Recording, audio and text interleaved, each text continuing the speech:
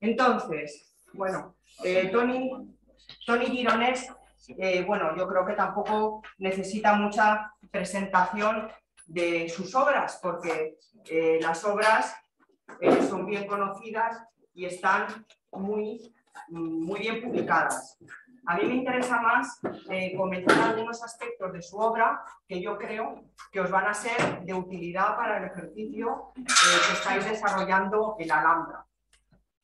Por una parte, él es un arquitecto pues, que viene de la Escuela de Barcelona, eh, luego ha estado en la Escuela de, del Vallés y ahora eh, está en la Escuela de Arquitectura de Reus. Luego es un arquitecto que, eh, además de hacer las obras que todos conocéis, es un arquitecto que está acostumbrado a la docencia y que sabe enseñar y transmitir, que a mí es lo que más me interesaba, que os transmitiera estas cuestiones que yo creo que son importantes en su obra.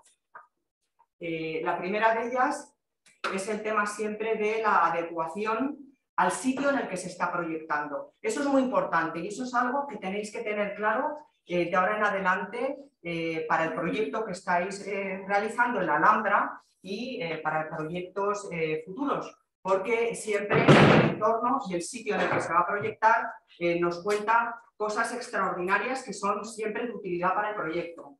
En concreto, todas sus obras son unas obras que están eh, fuertemente relacionadas eh, con, con, el sitio para el que están y dan una respuesta adecuada para el sitio en el que están, tanto desde el punto de vista material, de topografía, de clima, de materiales, etcétera, también como desde el punto de vista conceptual, que yo creo que es algo que va mucho más allá del antiguo concepto, contexto que eh, es el que eh, se manejaba mm, antes. ¿no? Entonces, la relación con el sitio. Luego también una apertura de miras hacia todo lo que pasa en el mundo, que yo creo que eso también es interesante. Desde la Escuela de Madrid estamos acostumbrados a una escuela que a mi juicio es muy endogámica, siempre es hacia adentro, los profesores de la escuela, todos los que estamos aquí dentro, pero mirar lo que pasa en el mundo es eh, absolutamente esencial para eh, poder hacer proyectos con más soltura. En el caso de Tony, él ha tenido también una vinculación importante con Iberoamérica, eh, bueno, ha sido premiado en bienales españolas y sobre todo haría hincapié en las bienales iberoamericanas con las cuales ha em, iniciado pues, una relación importante con la arquitectura iberoamericana, eh, que es una arquitectura además con un gran potencial de eh, propositivo. Es una arquitectura eh, que, muy fresca, una arquitectura muy relacionada también con el lugar, una arquitectura que yo creo que está libre de, trabas y, que es una arquitectura em, que, digamos, tiene, eh, es muy poderosa desde el punto de vista propositivo, cosa que en Europa también muchas veces estamos atados a muchísimas cuestiones que a los arquitectos nos, cortan un poco las alas a la hora de proyectar. ¿no? O sea, hemos hablado del tema del lugar, hemos hablado del tema de mirar hacia afuera y luego también del tema de la materialidad, que yo creo que es algo también que Tony ahora nos va a explicar también qué piensa sobre este asunto a través de sus proyectos, que también es algo que yo creo que es esencial a la hora de proyectar y también es esencial a la hora de hacer eh, un proyecto, pensar la materia con la que estás trabajando. Sus proyectos tienen esa eh, carga importante de intención y de, gusto por el conocimiento de los materiales, de los distintos materiales, por utilizarlos de una manera distinta, eh, por utilizarlos siempre adecuadamente al proyecto que se tenga. Yo creo que eso también es una cualidad importante de, las obras de, de, Tony, que bueno, las conocéis bien, las viviendas, el Museo del Mar, pero bueno, yo creo que estas cuestiones a mí me interesan profundamente en arquitectura, el, sitio, el contexto, el arraigado al sitio, el mirar hacia el mundo exterior, el tema del material, porque creo que son cuestiones que os van a ser de utilidad para el proyecto que estáis haciendo ahora, para el proyecto de la Alhambra, que además tiene esta cuestión topográfica, que yo creo que eh, es eh, eh, desde luego muy característica de la Alhambra y desde luego su clase, además que se llama Topografías en el Tiempo, que nos habla de otra cuestión que también nos interesa para el proyecto, que es el tiempo el tiempo pasado, los tiempos que eh, siempre añaden algo nuevo de conocimiento al proyecto a la hora de hacer el proyecto de arquitectura, que es verdaderamente a lo que vamos, a hacer un proyecto. Por eso os he pedido que traigáis luego una pequeña presentación de cómo vais con el trabajo en la Alhambra. Bueno, pues es simplemente para que anotéis las cosas que os van a interesar para la hora de hacer el proyecto. Y muchas gracias, Tony. Gracias, Y cuando quieras te puedes quitar la mascarilla si quieres, porque como estamos lejos así. Sí, sí, sí, perfecto. Pues y bueno, gracias por la invitación, por el fin de semana estupendo que hemos pasado. Y, y bueno, por estar aquí con vosotros, eh, que siempre está bien pues, compartir lo que, lo que uno piensa y sobre todo recibir pues después me gustaría también interactuar un poco, ¿no? O sea, las dudas que tengáis, las, opiniones eh, cruzadas, contrapuestas, etcétera. Yo creo que es lo más interesante al final este intercambio, ¿no? Y bueno, cuando me dijo Ángela que estabais trabajando en Alhambra, pues para mí pues, fue una alegría poder venir y hablar de eso también, porque precisamente lo que veis ahí en el título del proceso de Museo Clima, eh, cuando me planteé eh, los dos meses que duró este concurso en el 2008, precisamente una de las referencias era la Alhambra eh, y una de las referencias era también el Parque Güell de Gaudí, donde está el Gaudí del Agua, que donde una antigua, montaña pequeña cerca de Barcelona, donde se tenía que proyectar una urbanización y que era un terreno yermo, sin árboles, etc. Gaudí aprovecha los viales de la urbanización para gestionar el agua, ¿no? el agua de lluvia, pararla, almacenarla y hacer rebrotar todo ese lugar como un oasis, ¿no? Es decir, entendiendo cómo funcionan los elementos naturales, Gaudí pues proyectó toda una montaña prácticamente, ¿no? Que después pues derivó en lo que ha sido el Parque de se separó la urbanización, se hizo una casa piloto y una casa en la que hay una entrada y un poco más, después derivó en lo que conocéis como bueno. Entonces, ¿qué interesa de, ahí? ¿Qué, ¿Qué, interesa de la Alhambra? Que en épocas muy distintas que proyecta, las personas que hacen esos procesos entienden que esa propia geografía, ese propio lugar, tiene unas constantes vinculadas con el hecho de habitar, las reconocen, toman conciencia de ellas y con la acción de proyecto las activan. Y que esas constantes tienen que ver con tierra, aire, agua, fuego, los diferentes elementos, cómo se conectan entre ellos. Eso es lo que en Alhambra pues, ya habéis visto, supongo, y, y percibiendo más. Entonces, la charla, yo me sentaré para, disparar así, dejar que sea una voz en off, mirad más la pantalla. Y, y de alguna manera eh, eh, topografías... Sí, sí. Un poquito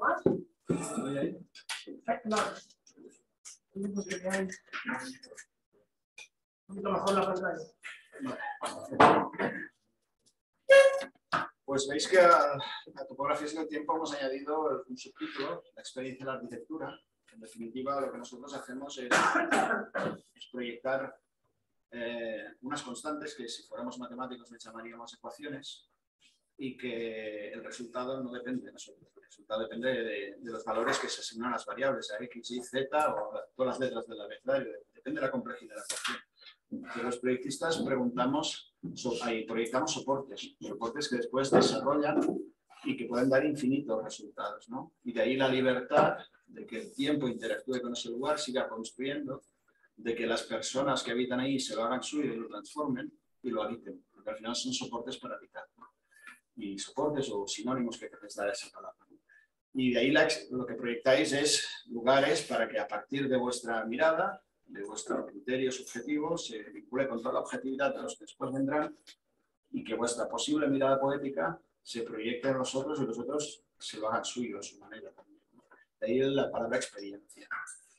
Y el tercer, eh, la tercera línea o segundo subtítulo pues es un tema concreto, pero que tampoco es, os voy a contar solo ese proyecto. Es decir, eh, a diferencia de los otros proyectos, el Museo del Clima fue un proceso, sigue siendo un proceso que se deja abierto, porque como veréis en la charla, después de 10 años de trabajar en él, se proponía ya en el concurso, después pues se constata, ¿no? Eh, que la propuesta sencillamente cuestionando el enunciado en el que nos pedía un edificio climatizado, con un código técnico, con lo que llamaban sería el tercer Cosmocaixa de España, eh, Barcelona, Madrid y Lleida con, el, con la temática del clima. Era una época de muchas tematizaciones. En 2008 estábamos en plena burbuja, justo un mes antes había estallado la crisis de Lehman Brothers y ahí ya cambió, cambió de época.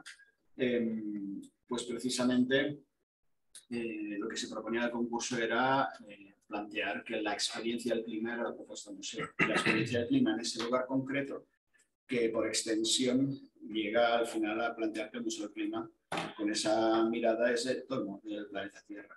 Es decir, que esa casa común con conciencia crítica de especie humana que habitamos es el planeta y que en función de saber interpretar, saber leer, saber diagnosticar como buen clínico, que tiene que ser un proyectista en el lugar donde se tiene que habitar, sabes cómo intervenir entendiendo que la arquitectura es un elemento de mediación entre las personas y el lugar que se tiene que habitar, nada más. Y en este sentido comentaros que, que, ese proceso veréis que se van cruzando eh, otras experiencias, otros ejercicios que se vinculan con este a partir de, a partir de las constantes que se utilizan en el hecho de habitar entonces, esta primera imagen es muy sencilla, es decir, habla del hábitat, de, esa intervención mínima o esa interpretación mínima o lectura de, la persona que habita el territorio, leyendo esa, leyendo esa alfombra térmica en las condiciones extremas, ¿no? de calor en este caso, y, ese metro y medio cuadrado, esos dos metros cuadrados es su refugio en este caso, eh, y por tanto es, arquitectura. Esta otra con unas condiciones muy distintas, leer una preexistencia como esa roca, utilizarla de cantera, eh, dar forma a un elemento que con ese mismo material se adhiere a esa roca, la cual le cede su inercia térmica en verano y en invierno, eh, frío y calor según, según necesite. Eh, se orienta a sur perfectamente para recibir ese calor en la zona donde construye además ese plano horizontal por encima del agua. Se refugia añadiéndose a la roca del viento del norte que es fuerte, abriendo una pequeña ventanita para tener cruzada, esa inercia, la interacción cruzada, la interpretación correcta del sol, eh, del aire, etc. Es, como estos pescadores de aquí, en este caso, habitan. ¿no? Condiciones muy distintas estas. ¿no? Aquí hablamos de una arquitectura palafítica o una plantación palafítica, pero construcción, porque está plantada con intención por parte de la especie, la, el, arbolado, la vegetación como material de habitabilidad. ¿vale? Y esos cinco metros de distancia respecto a la construcción eh, colonial en, el Camp de Tarragona como masía de la época, eh, pues eh, es una decisión importantísima de esos dos árboles de, hoja caduca que, que a sur, que es la orientación que tiene esta construcción, te protege en verano y, por la caída de las hojas en invierno pues gestiona la habitabilidad, el clima, etc. ¿no? Pero ahí hablamos de excavación y terraplenado, inercia térmica, Aquí hablamos de plantación y construcción palafítica, esos dos troncos, esos dos pilares y, toda la construcción de esa pieza encima de la otra, que es la de la, de ¿no? Eh, o esto, ¿no? Esto es un poco una mirada de decir, bueno, la confusión entre habitabilidad y cosas que a veces se le llama arquitectura, pero que no cumple la función de habitar, ¿no? Es decir, yo me pregunto ese gesto, esa inclinación, ¿de dónde viene? ¿no? Porque por una razón de evitar no es, porque el hecho de inclinar ese, ese, ese mástil provoca que este punto aquí, pues de, de, aquí pues se retrasa aquí y provoca que se quemen las piernas del, del vigía, ¿no? esas horas que tiene que estar ahí. Por tanto, él tiene que añadir una serie de elementos para cumplir eh, la función de evitar y además cuando baja a descansar la sombra de todos estos conjuntos donde él se coloca eh, por lo tanto, al final nos adaptamos siempre a una condición que interpretamos como, como espacio público, como lugar de relación, sean cuales sean las condiciones. ¿no? Y esa es la gran suerte, también, igual que los otros animales, sabemos al final adaptarnos. Ahora mismo, pues, eh, llevamos año y medio así, con, con esta condición vírica, etc. Y este es el lugar, este es el planeta y una relación de escala en el tiempo. ¿no? Eh, de un origen del planeta de 4.500 millones de años, supuesto, a una aparición de los primeros homínidos pues, en una relación de escala bestial. O sea, me acuerdo cuando hacíamos el Museo del Clima, Jorge Wagensberg, científico, eh, comentaba esta relación de escala como si la formación del planeta es un año, la especie humana aparece el 31 de diciembre a las 23, 59 y 59 segundos de la noche. O sea, por lo tanto, uh, si hacemos una simetría en el tiempo de aparición, posible extinción de la especie, etcétera, etcétera, el planeta no nos lo estamos cargando, el planeta nos va a sobrevivir, se va a regenerar, etcétera, etcétera. Cosa es cuánto tiempo nosotros disponemos para seguir coevolucionando con lo que nos rodea. Los biólogos dicen que las especies que han conseguido resistir más en el tiempo son las que han aprendido a coevolucionar con lo que les rodea, no a imponerse. ¿no? Y, y, esto es fundamental ¿no? para entender ese lugar, eh, en que en esa escala, si ya es poco el tiempo que hace que estamos aquí, mucho menos es esos 250 años en los que empezamos a, a irnos del planeta, ¿no? A, no interpretar sus reglas del juego y a construir un clima artificial, a construir, a confundir a la población en que producción es realmente, en que extracción es producción, es decir, no hay países productores de petróleo, hay países extractores de petróleo, no hay energías eh, renovables, porque la construcción de esos aparatos es extracción de minerales, las llamadas tierras raras para hacer los molinos de viento, las placas solares, etcétera, etcétera. Y, un cambio de hábitos en la población en el sentido de habitar es urgente, que ese es nuestro territorio. Y por otro lado, la regeneración de la cota cero, sea tierra o sea agua, también para volver a fijar el CO2 que hemos dejado de emitir. Y eso es fundamental en esa casa, es decir, si no, no funciona y no podremos habitar en ella, ¿no? nos autoexpulsaremos. Y a partir de aquí ya el Museo del Clima lo que hacía era interpretar eh, este lugar. ¿no? Ahora, en un puntito concreto, que ahí veis señal en rojo, ¿no? la cual os hago una reflexión previa. En ese momento veníamos de un, de un, crecimiento exponencial bestial desde finales de los 90 al 2008, eh, con una burbuja bestial, la arquitectura había leído incluso eso con arquitecturas vinculadas a movimientos filosóficos, eh, el pliegue de Isles Deleuze, eh, los fractales, eh, las cintas de Moebius, una serie de formalismos costosísimos, exageradísimos. Y el concurso del museo, que presentaron 92 propuestas, fue un manifiesto de todo eso, es decir, cual más icónica, simbólica encima de una acrópolis, una pequeñita acrópolis que es el Turo de Gardenia ¿no?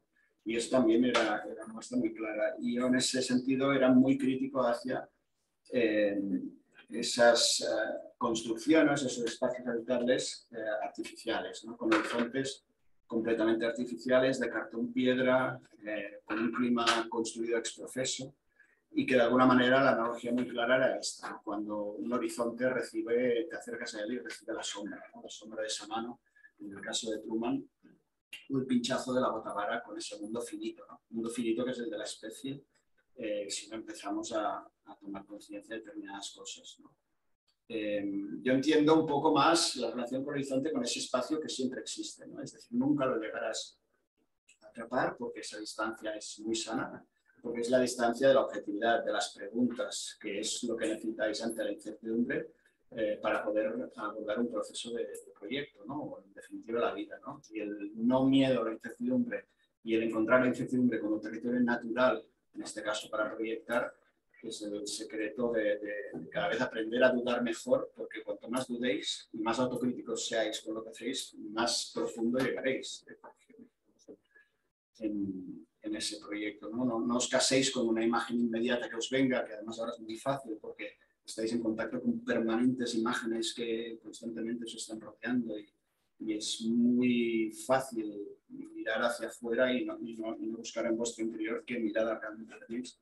Yo creo que cualquier ser humano, del momento que nace, tiene una mirada poética propia, este y es una sociedad que no deja de desarrollarlo.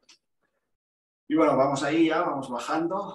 Ahora sí, eh, clima mediterráneo en este caso, eh, tiene unas condiciones determinadas, pero en el caso de Lleida, eh, veis una serralada litoral aquí de unos 600 metros de altura en la costa catalana, eh, que ya hace un pequeño cambio de clima con lo que es el Vallés, y está entre Mediterráneo y primer continental, pero la segunda sierra, que es la prelitoral, que cierra aquí en el Coll de Balaguer, cerca del Delta Ebro y empieza en Gerona, eh, ya llega a 1.000-1.200 metros de altura, esa gran pared, fijaros que podemos ver una geografía como una casa, eh, todo esta, este llano de aquí, que unos 200, 250 metros sobre el mar, eh, ya deja de recibir la influencia del Mediterráneo y es clima continental, además de, la cercanía del prepirineo y los, primeros, primeros por arriba. Y vamos bajando y el satélite nos habla, nos habla de, secano, de regadío, de la gestión del agua de los ríos, de, la humedad de las caras norte, y si vamos al punto rojo, nos acercamos y vemos a esa masa ya grisácea, como esa tumoración, ¿no? Que es, eh, en este caso, la ciudad de, Lleida, que tenía unas reglas del juego, como todas las ciudades, de época agrícola, que se relacionaban con lo que lo rodeaba, pero hay un momento que nos pasamos de escala. Y empezamos a urbanizar, a urbanizar el territorio, a extender esa malla abstracta sin interpretar las condiciones de lo existente, la sabiduría que había de la cultura anterior que la cultura agrícola, y esa, esa metástasis empieza a crecer por el territorio de Y bueno, ese es otro lugar donde estamos todos investigando desde hace muchos años y donde realmente hay espacios de oportunidad para que realmente, ayer el sábado estábamos viendo la operación de Plaza España, ¿no? Eh, esa, esa ciudad que estaba cerrada en sí misma, cómo aprovecha una oportunidad para, para conectar con el río, conectar ya a partir de ese acantilado con, con el lado de Poniente y, y abrir una, una, una, salida natural um, de la persona, del peatón urbano, hacia otros lugares y con sucesión de escalas, pues transitar o, o relacionarse de otra manera. Lleida pues, tiene como cinco bolsas diferentes que podrían entrar como si fueran finger plan, eh, que ahora nos diré los nombres, eh, los estudié hace unos 20 años en un curso que hicimos de espacios libres, pero el mismo meandro, meandro de Rufia del río, del río Segre, debajo de, del tubo de Gardeny, que es, que es lo que tenemos enfrente, en este caso un tusal más. El tusal es estos pequeños montículos que son cerros testigo, turones eh, testimonio de otra época geológica. El agua estaba hace millones de años a esa altura y fue bajando progresivamente, pero tú haces un corte de cualquier geografía o construcción en el tiempo, que es estas pequeñas montañas, y te encuentras siempre los primeros tres metros eh, canto rodado del río, que quedó depositado ahí cuando el agua ya fue bajando, después unas capas de lutitas y después ya, ¿no? de arenisca. Eh, y eso también lo encontramos en el. Uno de los tusales es donde se implementa Ilerda, la ciudad romana, y después con el tiempo acaba teniendo la, la, la que es la catedral gótica, y enfrente de, de, de, de, la Seu tenemos este tusal más, de una base más ancha pero más bajo y alargado, donde el, en la guerra civil se, se establece una, una, la base militar y que a partir de los 90 ya se cede otra vez a, la propiedad pública y es donde se plantea la operación del Museo del Clima cerca de las preexistencias que también se reutilizan como parque tecnológico. Parque. Y seguimos en ese punto rojo, en el cual ya vemos la parcela que nos daba en el concurso, que eran estos 12.000 metros cuadrados, más o menos que estoy explicando, y donde vemos también esos verdes, en esa vaguada cara norte, y, y, los amarillos que venían ya desde el satélite de ese secano en el altiplano árido y expuesto a viento. ¿no? Eh, y la antigua residencia de suboficiales, que era condición de derribarla, las piscinas que tenían en la zona más frondosa del bosque oriental norte y más fresca en verano, y el concurso lo que se plantea es eh, la mediación entre estos dos climas particulares del propio lugar tan distintos, o estas dos experiencias que puedes en el altiplano árido y seco o en la hondanada eh, húmeda y, y, y, profunda, ¿no? Y llegamos incluso a la microescala de eh, la relación con lo que pisas, con lo que tocas, cuando te sientas, etcétera, etcétera, lo que hueles, ¿no?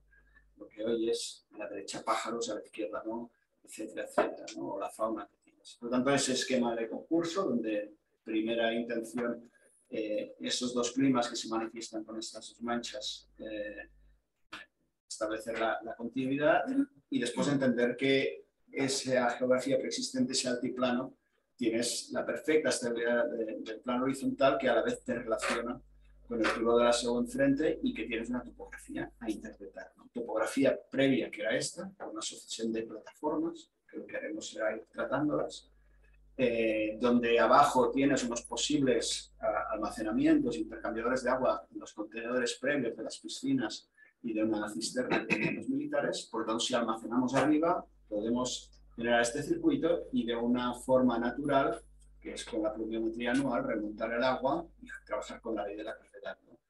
optimizando el recurso natural al margen de que la propia topografía te da oportunidad por excavación y terraplenado, más como la imagen de la barraca en el Creus, para utilizar una de las propiedades importantes en el hábitat, como es la inercia térmica. La relación con el horizonte cercano, eh, el tusal de la Seubella adelante, pero también la relación con todo el prepirineo y pirineo, que en días de poniente, pues, pues divisaría. Este es tu límite, el límite de tu casa, Museo del Clima, en este caso, que es el que planteábamos, que es todo este horizonte, pues desde, desde los más cercanos en, en, en, el San Salvador hasta el Monte Perdido, el Aneto, a 100 kilómetros en Penal, de Masque, ¿no? eh, y este era el lugar, antes de intervenir, era condición derribar la residencia de, oficiales. Y para nosotros esta era ya la propuesta, es decir, hemos de habilitar un elemento que cumpla el programa que te pedían para poder estar, para poder hacer una serie de exposiciones, aunque querían. Elemento cerrado, no sé si veis, está en Barcelona, el Cosmocaixa tiene el bosque tropical, un aparato ahí artificial que está como respirando siempre y los cristales entelados y tal. O sea, no queríamos ir a eso, aunque nos pedían cosas de eso. Nos pedían, ofrecen una computadora en una sala de exposiciones con elementos artificiales, artificiosos, y explica a un niño lo que es el clima, cuando lo tenías delante, ¿no? cuando la experiencia del lugar era la mejor de las pedagogías. ¿no? y entender esa construcción en horizontal, no en vertical. No, estábamos en la época de, del cónico, pues proponíamos un edificio en horizontal que era, que era el propio Tusal y la fotografía que bajaba del bosque y entender, y no queríamos ir hacia aquí, este lleno frente a la SEU competir la ciencia con la iglesia y esas cosas que a veces sí que estaban en algún miembro del jurado, del mundo de la ciencia, y entender que igual que en el Partenón, sin la Acrópolis no es lo que es, entender el Tusal como construcción previa en nuestro caso y a partir de aquí gestionar ese, ese límite. ¿no? Son, son, analogías que nos, que nos llevan muy bien. Esa topografía se empieza a entender con una plataforma, la cual empezamos a agujerear por necesidad del programa, esos tres patios y al final aparece como esa especie de claustro eh, asimétrico, abierto a, uno de los lados, igual que el claustro de la Bella que tenemos al frente, que es uno de los, el único claustro gótico que está abierto, asimétrico, en este caso a la plana Lleida y al río, y por razones defensivas también. Y ese claustro asimétrico es el que empezamos a interpretar desde la propuesta de concurso como un recorrido y una experiencia. Y al final construyendo una plataforma intermedia que mediaba entre el bosque y el altiplano, que es la que veis arriba de todo, para esas dos personas. ¿no? Eh, en esos procesos, eh, y ahora empezaré a, transitar por los otros ejercicios del momento, en un año eh, sucesivamente realizamos diferentes concursos. Diría de temáticas parecidas, porque era una época de muchas tematizaciones, y que al final simplemente os mostraré procesos, no, no, formalizaciones, ni renders, ni solo los dibujos con los que se pensó. ¿no? Y al cabo de menos de un año aparece el Museo del Bosque, en San Saloni, ¿no? Quedamos segundos ahí, después de un pollo y un proceso y tal. Diferentes concursos seguidos, se hicieron tres que, que, que, han ido muy bien, pero al final dos se tuercen en el último momento por diferentes razones. ¿no? Y el Museo del Bosque se planteaba lo mismo, ¿no? También está Jorge Wagensberg desde la Caixa, en este caso con un especialista eh, de la zona, y, y, había una parcela en San Saloni, ¿no? Y nosotros lo que proponíamos era simplemente que la parcela, el propio lugar, eh, construíamos un bosque, plantábamos un bosque, eh, midiendo exactamente la cantidad de árboles, hoja caduca, hoja perenne, y proyectábamos un bosque como transición, como puerta al Parque Natural del Montseny, que era el verdadero bosque.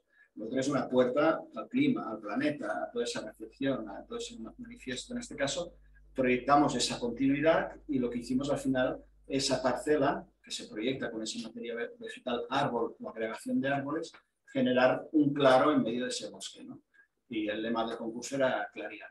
Entonces, todo ese programa que veis aquí, mm, trabajarlo, trabajar con la topografía, temas acústicos, con, los viales que había alrededor de la parcela y al final transitar por ese lugar hasta conseguir esta sección. Una sección que también trabaja con inercia térmica, con patios eh, o jardines interiores que iban gestionando la, relación con lo que lo rodeaba en ese claro, claro en el bosque ¿no? y la experiencia de las personas y la transición hacia el bosque. Otro fue en la misma época, medio año después, un museo arqueológico en Calviá, por ejemplo, en el cual Serra de Tramontana te da una condición climática y aquí un valle donde había 35 eh, hectáreas de yacimiento arqueológico, donde llegabas a una especie de vaguada que era como puerta de entrada para que lo que hacíamos era excavar, excavar como una gran cantera y con ese mismo material construir el museo, ¿no? el auditorio, etcétera, etcétera.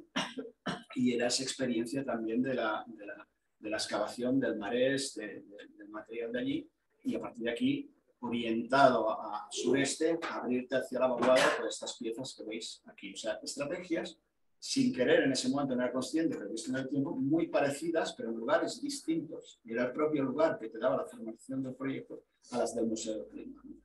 Y, bueno, y he seguido así siempre, es decir, aunque se hace una casa familiar, aunque de diferentes maneras. ¿no? Y aquí otro concurso, en este caso creo del 2014, que es ya en el Camp de Tarragona otra vez, en estos tejidos agrícolas, donde pues, las construcciones, como habéis visto en la tercera imagen de la charla, son coherentes en la gestión del agua y sobre todo la relación con el sol.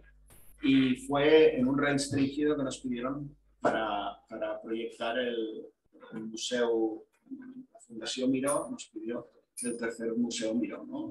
la Fundación Miró, que está en Barcelona, de Palma, y la tercera sería en Montres del Camp, donde estaba el Más Miró, que es el más que compra el padre de, de Joan Miró en 1910, y que él experimenta con 17 años cuando pasa un mal momento, una cierta depresión de cambio y de contradicciones en su vida porque no le dejaban pintar en su casa y lo envían ahí medio año a, rehacerse, ¿no? Y ahí reconecta, eh, haciendo sus paseos por la riera desde el mar a la montaña, eh, con su vida y con lo que realmente después fue todo su camino. Y 10 años después pinta la máscara, que era ese lugar donde, si se entiende el cuadro, eh, conecta con todos los animales, el ser vivo, los seres vivos, etcétera, etcétera. ¿no? Y ahí nos proponían rehabilitar el MAS, pero además construir una construcción anexa con auditorio, eh, salas, etcétera, etcétera. ¿no? Y todo esto fueron nuestros datos. ¿no? Entendimos que el MAS tenía sus preexistencias, que tenía una estructura de la tierra, que había una serie de plantaciones importantísimas ahí de kilómetro cero, eh, que la estructura de la parcela y de la finca era esta por la riera por donde caminaba Gaudí, ahí, Gaudí, Miró, de, de mar a montaña, y un pozo, ¿no? el pozo que de alguna manera era la materia que alimentaba toda esa construcción y que permitía que fuera cultivable. ¿no? Por lo tanto, esa pequeña excavación de la planta baja a un metro, metro veinte, y que la mesa te queda donde comerás todo eso a la cota del, del, del plano central del campo, era lo que se fundamentaba la propuesta, además que pues, bajábamos alguna planta más para todo el tema del auditorio, pero volvíamos a trabajar con una excavación con inercia, con luz que pasaba por esos patios y con una cubierta que emergía únicamente metro ochenta por encima de los campos. Y una cubierta plana en la que en algunos puntos aparecía esa sombra de hoja caduca donde había el espacio de encuentro de espacio de Si veis la, la sección de abajo, ya veis una planta de 4 metros abajo, el metro 20 del espacio de acogida y la pérgola que une la sección más los programas más pequeños que están al otro lado. y ahí empezamos a trabajar eh, todos. Y seguiré enviando mm, eh, procesos de proyecto, de pensamiento, no, no dibujos representativos para, para, mostrar, sino que era el interior del, del proyecto. ¿no? Y bueno, la relación, como llegaban, dejaban el coche a 200 metros, eh, pasaban por los campos, llegaban a esa plaza a partir de donde podían ir a comprar productos, etc. Y se les presentaba el cuadro de Millón, se les presentaba el cuadro de la Masía, que es al cual después ellos entrarían. Y, y al cual a esa pieza de la derecha, que se situaba a una distancia respetuosa, habría el programa contemporáneo, ¿no? pero con las leyes, por lo que nosotros interpretamos como las leyes del lugar. Otro fue ya en el 17, en San Cugat del Valle, es una biblioteca, otro segundo premio, ¿no? O sea, todos estos son segundos premios, ¿no? En, este lo dibujé en Sao dando un curso escolar de ciudades, me llevé el concurso eh, durante 10 días y me encerré en el Copán de Niemeyer y bajaba a desayunar y a comer, alguna visita hacia el fin de semana y a las 6 era clase hasta las 10 con Álvaro Pintón y Fernando Viegas. Y bueno, y cuando volví a la noche pues a las 12 podía dormir y a las 4, 4 y media, que eran las 9 de aquí, enviaba la producción al despacho, me echaba un ratito más y vuelta, ¿no? Y fue muy intenso. Y, y, si veis el monasterio San Cugat de la imagen anterior, lo veis en este croquis aquí a la izquierda, delante hay un gran parque que, por el cual pasan las diferentes rondas de San Cugat cerca, ¿no? como rondas muy urbanas, y lo que proponíamos era que el programa de biblioteca interaccionara con el parque y se fusionara. Y estáis viendo aquí otro lugar distinto con una manera de operar parecida a todos los otros que, concursos que habéis visto. ¿no? Eh, veis ahí cómo las trazas empiezan a encontrar, los programas, los árboles preexistentes en azul, verde, eh, rojo, como las cotas se mantienen para que esas raíces sigan estando, interaccionan con una serie de patios, ¿no? se va intentando adaptar todo el programa, se excava eh, el material donde aparece el edificio, con ese mismo material se hace la contención de tierras perimetral y todo ese excedente es reaprovechado para, para lo mismo que veréis después que pasó en el Museo del Clima, ¿no? pero esto ya es en el 17. Y al final, bueno, pues esa, esa sección que tenemos aquí, que pues, con los árboles preexistentes de una plantación, que San Juan tiene un proyecto urbano muy bonito, en este caso de Valle Roche, con chorcos, etcétera, pues ya casaba con toda, la, con toda la estructura urbana que está muy basada en el arbolado, en este caso hasta transitar hasta el monasterio de San Juan. Y bueno, aquí, bueno, imágenes ya del concurso, cuando ya empezaba a estar los últimos días de Sao Paulo cerrado, llegué Aquí veis la transición que iba del monasterio de San Cugat, encontramos una traza que cruzaba la Sierra de Pelserola y llegabas a Gracia, a la iglesia de los Josepets, que es el tránsito que hacían los monjes en la época del monasterio, ¿no? hasta, hasta el barrio de Gracia en Barcelona, atravesando la, Sierra de Pelserola. Y era como una puerta también a esta biblioteca de ese recorrido. ¿no? Eh, llegué, pues esto pone ahí, eh, día, Sao Paulo, 17, 27 del 6, pues debía llegar el día 1, ya con el concurso que ellos habían entrado más o menos, y se entregaba el 11. Entonces, unos 11 días para... Y por décimas también quedamos segundo en esto.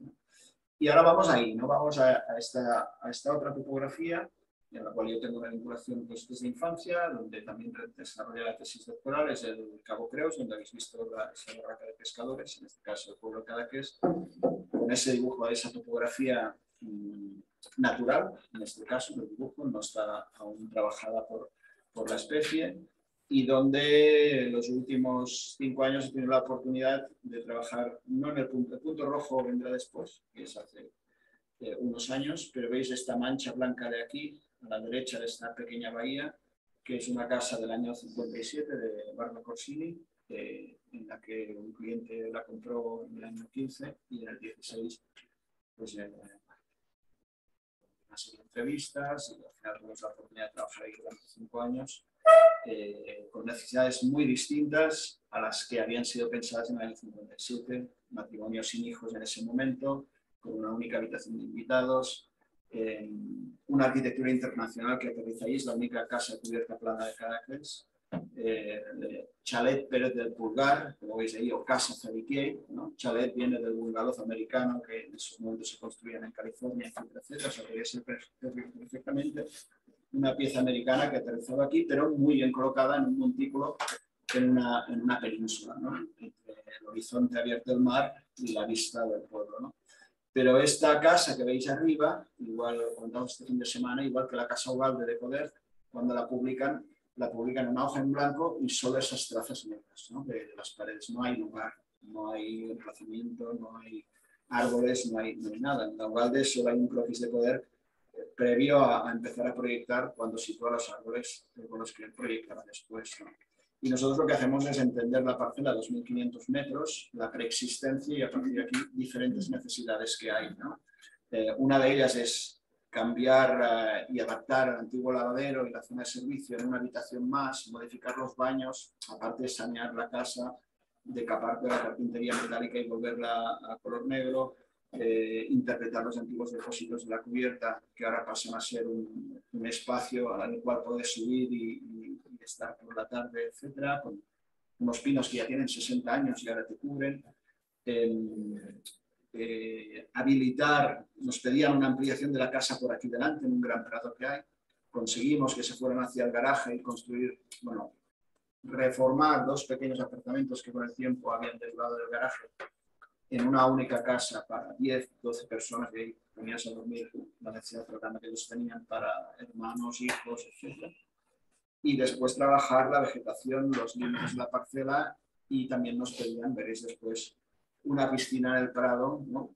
cuando les decíamos que tienes el mar 30 metros por un lado y 50 por el otro. Tenemos una pequeña insección en el centro de gravedad de la parcela, previo descubrimiento de esta gran roca, que también querían vegetar, porque estaba cubierta de tierra, parecían tres puntitos por ahí, les dije, hacemos un yacimiento, descubrimos esa pieza que es un trozo de Creus dentro de vuestra parcela, y eso nos dio paso a poder plantear una rótula de agua en, el centro de la parcela y, si quieren nadar, pues adelante, pero cuando llegan a casa tienen agua dulce, si quieren estar ahí sentados, etc.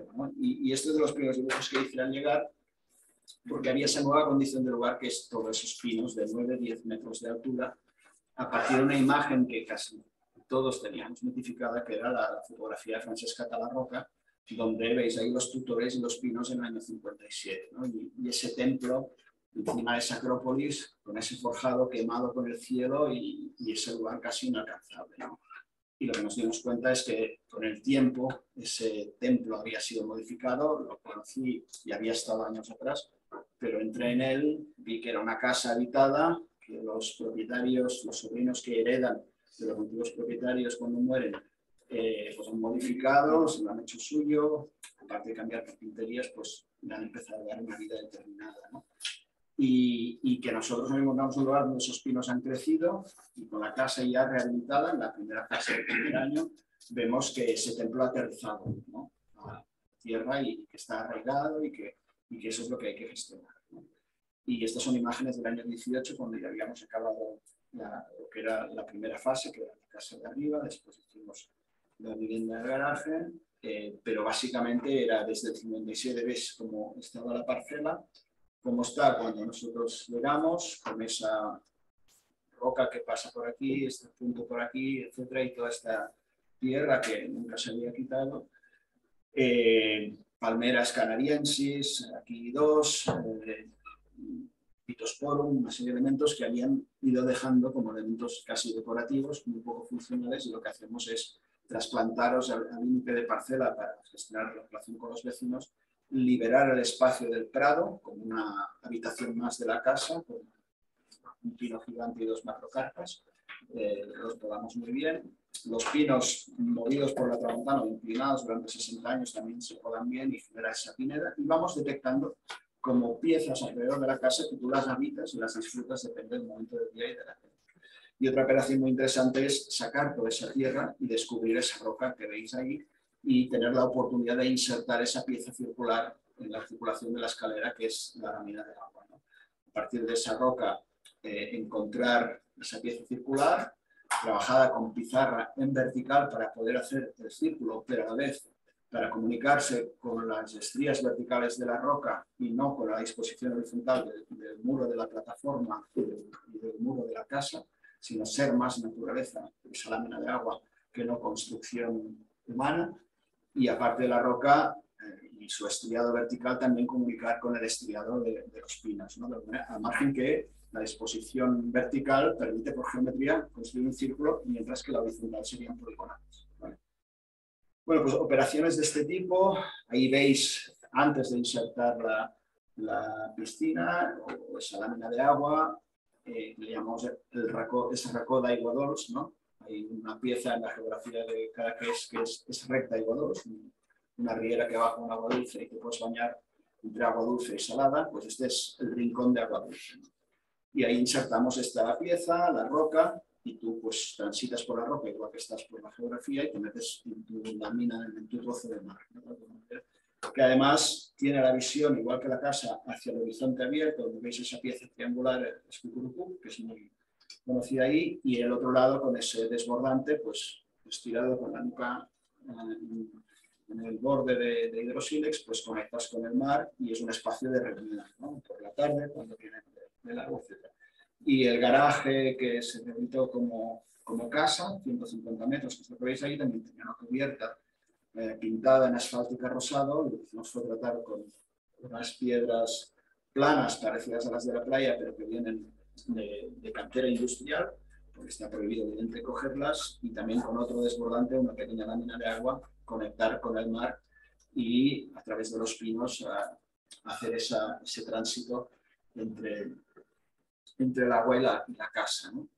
Eh, por tanto, ahí entendéis ya la pieza 60 años después, con esa nueva construcción de 9-10 metros de altura y ese techo que nos permite, no he traído imágenes, pero eh, los antiguos depósitos de arriba se transforman en, en, un, lugar para estar, eh, que se llama ahora un chill ¿no? con una pequeña lámina de agua también, con la manguera que te puedes construir, etc.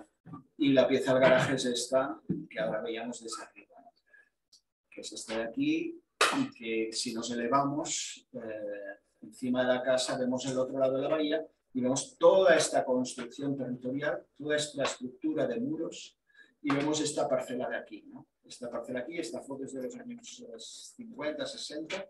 Ahí vemos la casa Romeo de Correa Milá, eh, con hexágonos. Esta es de Nick James y en el año 2009 tenemos la oportunidad de trabajar esta parcela de 800 metros cuadrados donde hay una construcción previa que tiene que ver con estos muros que todo el territorio también está trabajado así desde el siglo XVII hasta el siglo XX para hacerlo rebrotar en forma de, de viñedos. Pues detrás de esta construcción blanca es donde teníamos la fotografía de esa parcela, que es esta de aquí. ¿no? Y esa parcela también como construcción previa es la que detectamos cuando nos piden una casa de este lugar, ¿vale? de, de Nueva Planta. Pero contamos al cliente que antes hay toda esta construcción, tanto la topográfica antonizada, a partir de esas plataformas construidas por la especie humana con el material que sale de, de desempedrar el suelo y del lugar previo que se había construido, y todas estas especies de árboles, olivos, pinos, ciprés, un par de cipreses, una mimosa, palmera, etcétera, etcétera, que con el tiempo han ido apareciendo ahí y que leemos en ese recorrido de este a oeste. ¿no? El norte está arriba en este caso, por lo tanto la tramontana entra por aquí y el Garbí, que es el suroeste, que es el otro viento dominante, entra por esta dirección de aquí. Situamos esa mancha con esa esquina aquí, eh, como esa pequeña bahía, y, la casa se va colocando como una geografía más. Entendemos esas trazas preexistentes como las tangentes a la estructura de la casa. Por la casa no se abrirá hacia la calle, hacia abajo, sino se abrirá hacia donde los muros te van diciendo. Y empiezas a convivir con el olivar. Otro punto importante es en sección, intentar descubrir la, la, relación con el horizonte del mar entre la tierra y las ramas de los olivos. No querer superar al olivo por encima e ir a buscar la vista limpia del mar, porque el tiempo irá en tu contra. El olivo irá creciendo, los pinos irán creciendo, mientras que si te sitúas a escala humana entre la base del árbol y las primeras ramas, siempre ese horizonte lo tendrás ahí, el horizonte mediterráneo, entre arbolado, entre sombras, etc. No tendrás que ir arriba, como muchas casas han hecho el tiempo, climatizarlas porque tienes a pleno sol, pierdes la propiedad del árbol, etc. Por tanto, nos enterramos un poquito la planta baja, otra vez más. ¿no? Y empezamos a disfrutar de la inercia térmica, ¿no? en este caso de la pizarra. Construimos la primera maqueta de la construcción previa y construimos una segunda maqueta con la que empezamos a, a manipular. ¿no? Y es la primera maqueta, y, y, caminando al lugar detectamos que el que ya construyó el olivar, los muros los iba entrelazando, y veis que desde la cota 0 a la cota más 10, que es el otro extremo, en esta diagonal, donde la máxima pendiente hacia la antigua riera y la pendiente natural de la montaña hacia el mar, esa diagonal es la línea mínima pendiente que es lo que hace es gestionar la persona que construye esto eh, para subir la diagonal entrelazando los muros. Ese recorrido que aparece en algún croquis, este de aquí, en el primero, veis, lo reconocemos y al situar la casa subimos de esta manera natural por dentro de la casa se mantiene ese recorrido y arriba salimos habiendo atravesado la casa una vez está construida.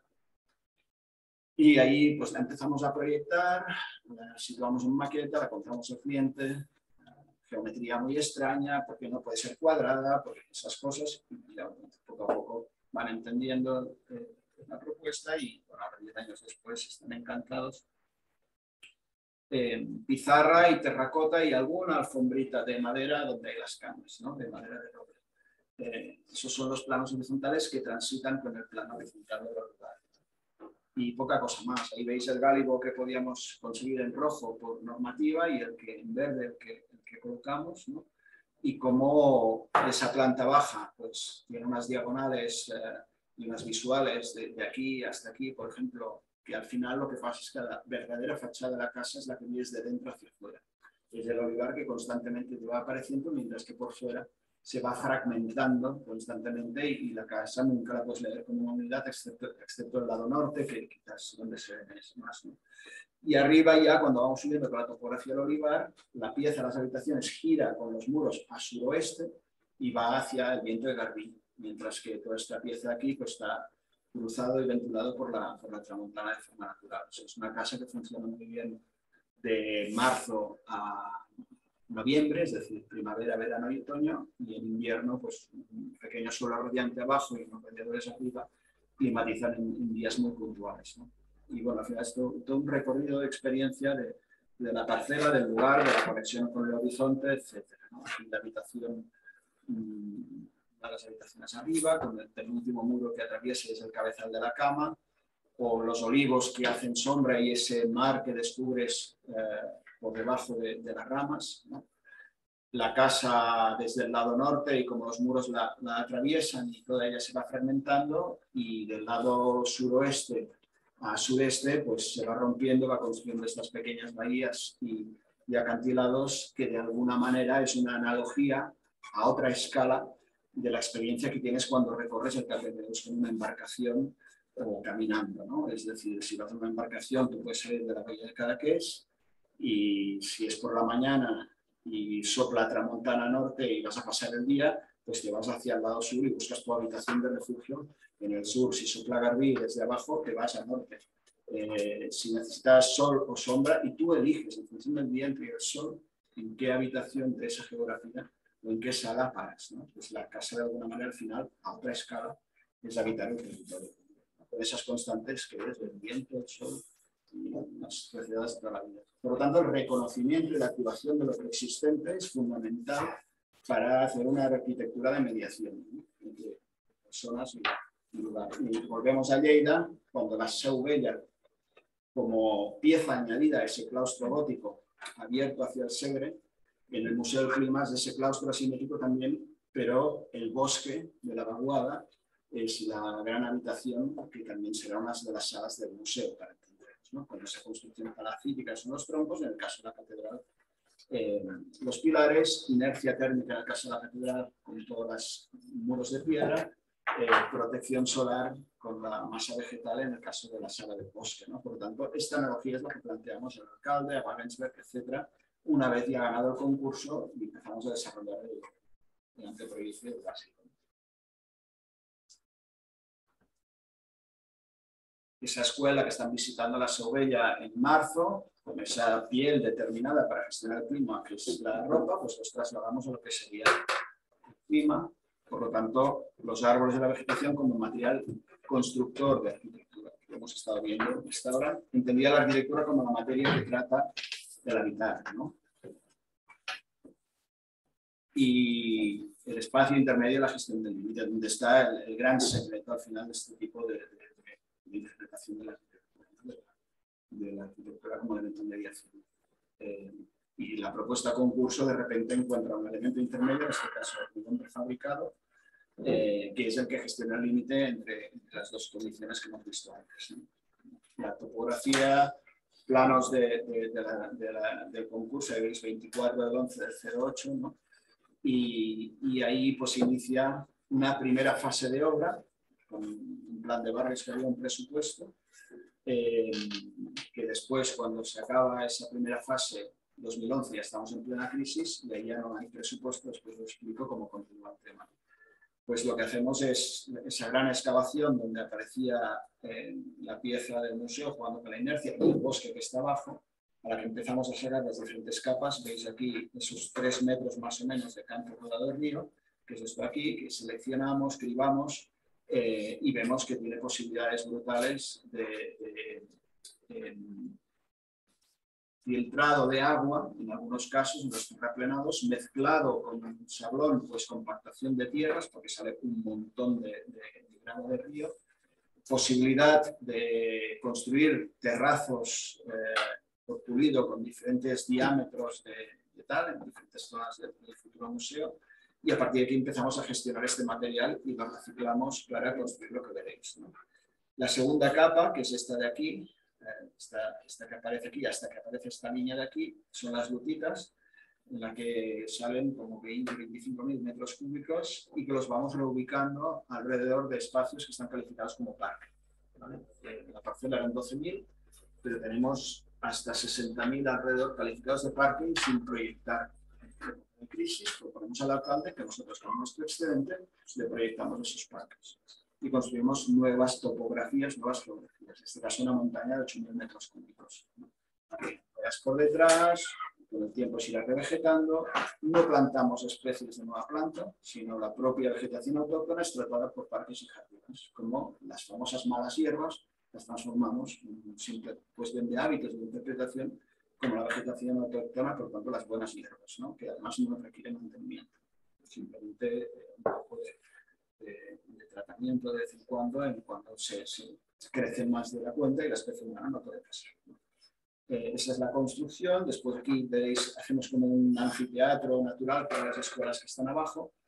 8.000 metros cúbicos más se sitúan en esta pieza en la entrada donde dejarían los coches de 100 metros de alto, de largo y 3 de alto, con un 3% pendiente, para descubrir desde la Catedral Gótica poco a poco en tu aproximación la ciudad de Lleida, hasta que llegamos y encontramos el espiral del, museo.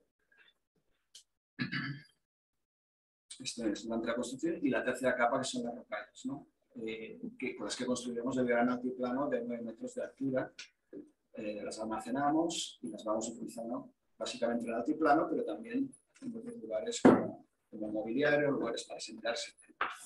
Es la escala un poco, piezas de 4 metros de largo.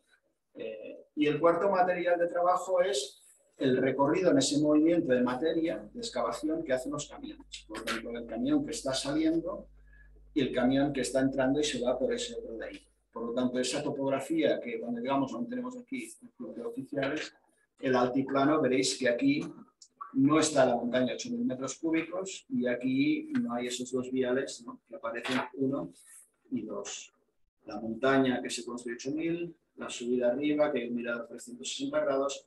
Eh, aquí tenemos esta topografía prácticamente plana y aquí con esa pendiente constante del 3% y el paseo de la rocalla con la forma de, de los, eh, de los grandes bolos que nos construyen eh, la gestión del excedente como generador de lugar eh, la, la, forma de adaptada al puerto. No sé si después saldrá un plano de, de, cómo la rocalla te va construyendo el espacio doméstico a escala como veis aquí. ¿no?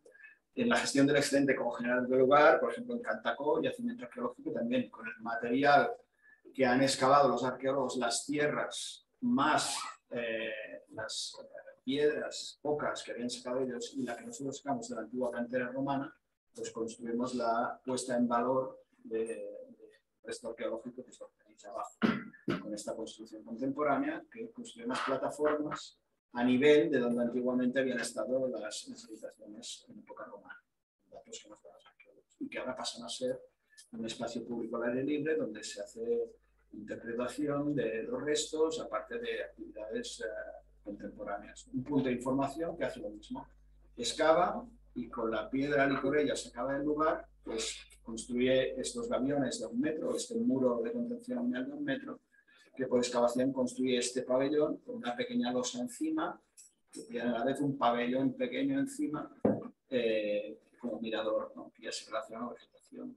Otra excavación, en este caso del 2002, eh, lo en Vilasat, donde viene la Generalitat y el Ayuntamiento desde Cultura y esos tres hornos, que son estas piedras circulares, nos dan este dibujo de Cultura y los arqueólogos y quieren ese templete, ¿no? o sea, quieren esa nave, ese prefabricado de hormigón con ese frontón y esos cristales y esos puertos de entrada, ¿no? orientado al sudeste, a Reynosa. Y das visitas, veis la planta, eh, de alguna manera, nosotros bueno, somos muy contrarios a eso. Por arriba ha pasado un parque, además, eh, pasamos por encima de esa excavación, de esa, de esa topografía, eh, que es de arcilla, por eso hicieron los hornos ahí, que es el material con el cual construyen las cavidades, y lo que hacemos es capturar esa topografía con un muro, con un estrato eh, de piedra de granito, de avión también, que lo atraviesas y detrás tienes la inercia térmica del espacio, una ventilación adecuada, por unas grietas y una luz cenital que te ilumina las tres piezas. Entonces la experiencia dentro de la Tierra, de ese lugar, más allá de ese edificio construido con sus reminiscencias clásicas del frontón. Inclinamos el, el gavión eh, en unos pequeños grados para que muros de 9 metros de altura interiores no te caigan encima en la perspectiva exterior mientras que el exterior lo hacemos a plomo. Esta es la construcción del 2002-2003, de esa pieza de 2 metros y ese diámetro de 40 metros. No, ve, la luz máxima, perdón, no, máxima era apellido al cuadrado de pasamillas, 40, no, la luz máxima eran 26 metros que se hace colocando los pilares, porque por presupuesto mercado solo podríamos tener vigas de hasta 13 metros de, más, de 13 metros de, largo, que es el pórtico central, y los laterales trabajamos con más de 45 de canto, mientras que las centrales, veis ahí la colocación de los, los pilares, es de 90 centímetros de largo. Y eso es ese diálogo, ¿no? esa excavación en, en, horizontal y en vertical. ¿no? Eh, y esa inercia térmica, y estos, aprovechando la inclinación de estos muros, estas dos grietas que se generan dando al viento dominante de levante y que te ventila permanentemente por geometría el lugar.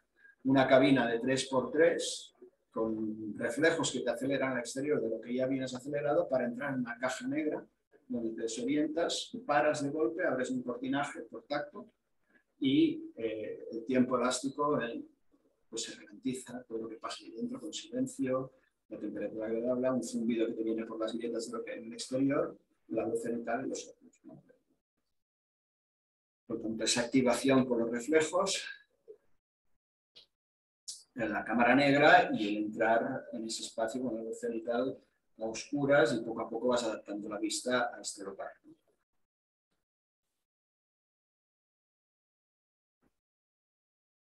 Hasta entrar dentro de la cámara de combustión, ahí veis, y encontrarte la serpentina, que es una la arcilla vitrificada a 800 grados. Y por otro lado, desde ese mundo interior, desde casi ese útero materno de la cámara de combustión, al descubrir el horizonte del Mediterráneo en la cubierta del parque, eh, o bien el estrato o la cueva, ¿no? es decir, la, la condición de horizonte estrato y cuerda. ¿no? El parque, eh, el cruzar esa construcción o geografía casi casi, y el entrar en la cueva y después disfrutar del parque, la luz central, ahí veis encima de la plaza, eh, y que es este, es este lugar, este horizonte, o el estrato, que de alguna manera es esa piedra con las dos grietas, eh, entre los mundos y Volvemos al excedente como creador del lugar, vemos las personas que irán ocupando ese espacio y con su experiencia del clima construirán un museo, dijéramos, dependiendo de, la época y la gestión que haya del lugar. El final de la primera fase, con el espiral construido, la parte de abajo de la sala de exposiciones y esos pilares a medias, y hay cuatro años de PowerPoints con el ayuntamiento, gestión y buscando presupuestos para que el lugar se activara. Conseguimos en el el presupuesto eran 6 millones, se había invertido 1.100.000 del plan de barrios, se consigue en 2015 200.000 y 200.000 para dos constructoras, por los cuales eh, esta sección se consolida, como veréis después. El auditorio se deja al aire libre y la experiencia ahora mismo es al aire libre. Eh, y básicamente se trabajan los planos horizontales, la pavimentación, pies limpios y el poder transitar de un lugar a otro la sala de exposiciones estaba así, se habilita para hacer eh, con un programa de, cultural y de pues, las escuelas de abajo un espacio cubierto de, de 20 por 60 eh, con esa pieza eh, que llevaba en la cota menos 3 al auditorio a la derecha, que es esta de aquí, con el cielo raso para el folle del auditorio que lo habíamos trabajado con los tableros de, de Cofrad, y con los pasos de instalaciones ya previstos, esto está así ahí y, estos espacios que poniendo inversión en las escaleras pues se comunican y se pueden utilizar eh, como espacio intermedio permanente en el que trabajar un clima u otro dependen de la condición que tienes de, de sombra, sol, vegetación, aire libre, árido, etc. Aquí está pendiente eh, construir una, una pasarela que conectará directamente con el bosque eh, los pozos canadienses no se han hecho porque no tenemos esa parte interior del edificio, de momento no se ha invertido y está esperando si un día hay necesidad y de momento el lugar se está gestionando y se está ocupando eh, con la interpretación de esa ruina contemporánea, podríamos decir. Esto es cuando acabamos la primera fase, esto era la previsión del edificio acabado con esa infraestructura y esas piezas en seco de un bar, unas oficinas, un acceso a una posible sala de exposiciones pero esa segunda fase de 15-16 lo que hacemos es entender esa condición de lugar, haciendo el símil con el Güell, de esa pieza insertada en ese altiplano, en esa geografía, y la relación con un horizonte de Prepineo, mientras que el otro es un horizonte mediterráneo.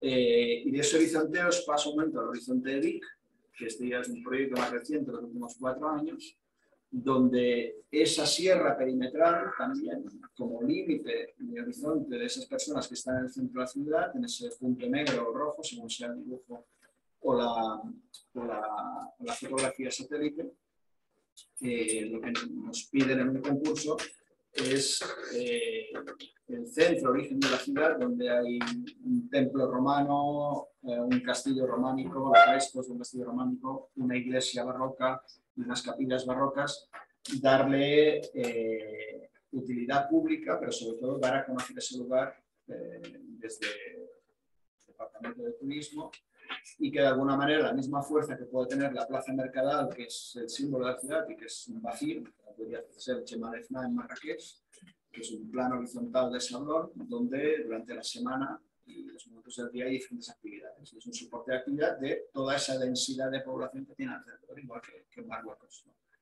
Pues de alguna manera nosotros lo que proponemos, eh, cuando vamos llegando a ese lugar, entendemos al final pues, el punto más alto de la ciudad, donde por decantación del tiempo han quedado acumuladas todas esas piezas, eh, que lo que queremos es que sea un espacio público atravesable y a partir del reconocimiento de lo preexistente, con diferentes intervenciones, activar la experiencia y los tránsitos entre estos edificios de diferentes épocas, o entre estas construcciones, perdón, de, diferentes épocas.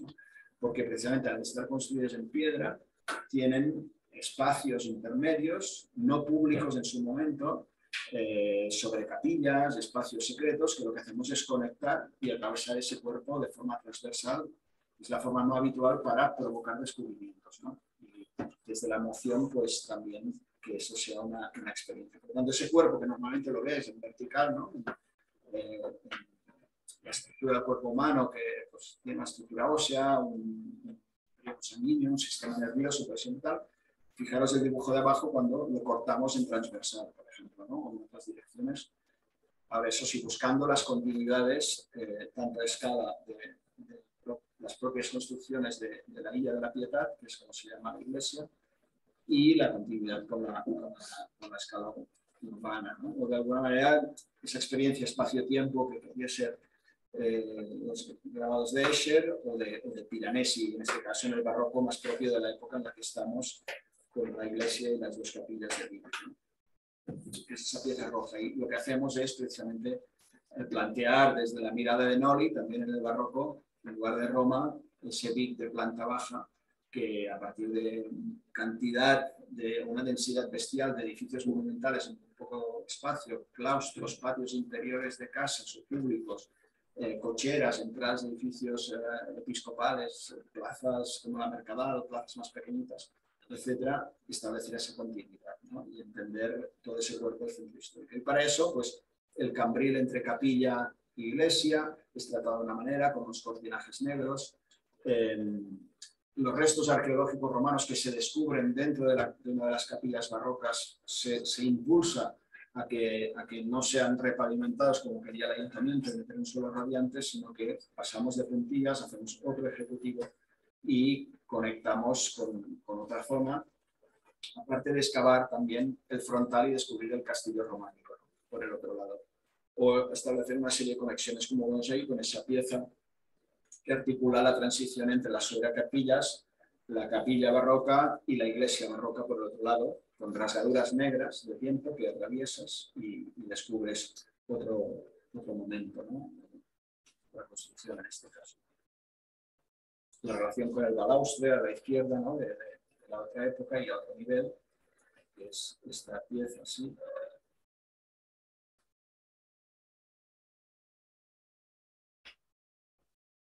y la, pasarela que se deposita con unas patas de elefante. Esto es cuando lo descubrimos, esto es cuando lo encontramos. Veis que al fondo no hay eh, castillo barroco replicado. Eh, y abajo aparece por el subsuelo romano como, un píxel capturado por una capilla barroca que al final tiene la iluminación del subsuelo romano, del castillo románico o de la gran lámpara barroca que es la cubierta. También trabajamos con ese óculo que de forma mecánica con una cuerda se puede abrir cerrar,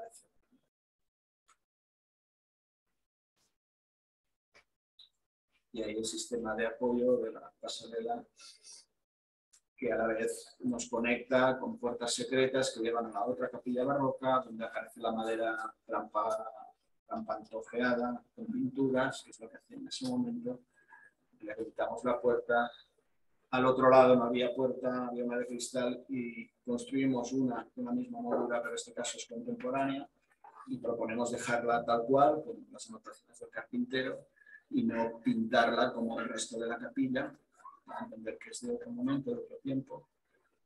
Y al final es esta complejidad de, una preexistencia que se reconoce, se mapea, y las activaciones y los tránsitos de las piezas, que aquí pues, están más claras exactamente en rojo cuáles son las decisiones estratégicas de la primera fase. Ahora está a punto de excavar la capilla de San Sadurní, que era una pieza también románica adherida al castillo de Moncada, y que este año ya tiene una financiación para que los arqueólogos la descubran y después tenemos que venir nosotros y atravesar esa capilla para entrar a la iglesia eh, de la Piedad. ¿no?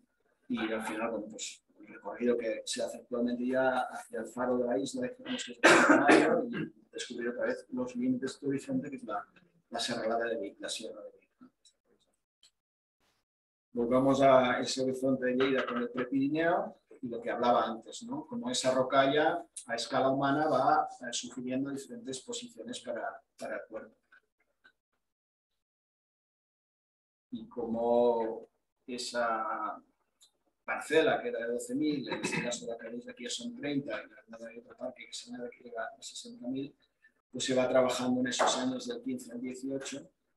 El vial que dejan los camiones eh, se sanea, se trabaja, eh, con sablón y gravas. Ese primer espacio ya excavado cuando se hizo la montañita se acaba de consolidar con el anfiteatro y arriba se colocan unas piedras para tener esta visión 360 grados, en cual ahora veis aquí la construcción del anfiteatro y la, la mirada con, con el, altiplano, vegetaciones autóctonas que se tratan, la gestión del agua, la piscina que es formatada de material y se construye una, una balsa húmeda como los almendros, bueno, parque, en definitiva. Todas las entidades culturales que gestionarán el lugar, en un mapa de tiempo a lo largo del año, que se lleva desde el ayuntamiento, de actividades que hay en los diferentes lugares, y esa construcción que poco por el tiempo va consolidando, incluyendo con la niebla tan característica del lugar, el soporte del espacio de acogida, que es esta pérgola 30 por 30, con 22 glicinias alrededor que con el tiempo formatarán este espacio, de dos y medio para cambiar la sensación térmica debajo.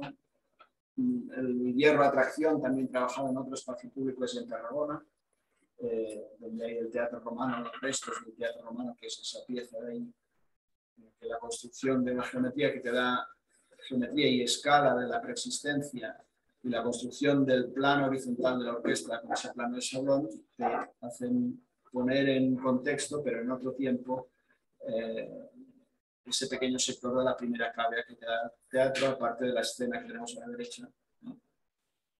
De lo que hace dos mil años era así, ahora, como veréis, los actores y espectadores han cambiado y no tan, en lugar de tener el centro, el, frente de escena, pues tenemos ya los vecinos delante, etc.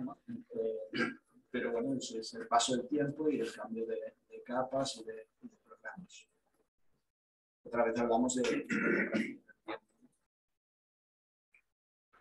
Seró la elasticidad de la rampa también, en este caso con restos arqueológicos del, Neolítico, o también la elasticidad del acero, como las otras intervenciones, en el límite de metro 90 que te relaciona con el Prepirineo, que a partir de las tangenciales te va orientando dando una serie de puertas. O la elasticidad también en los límites de Carcajo, del que habéis visto antes de las plataformas eh, en el Palacio Romano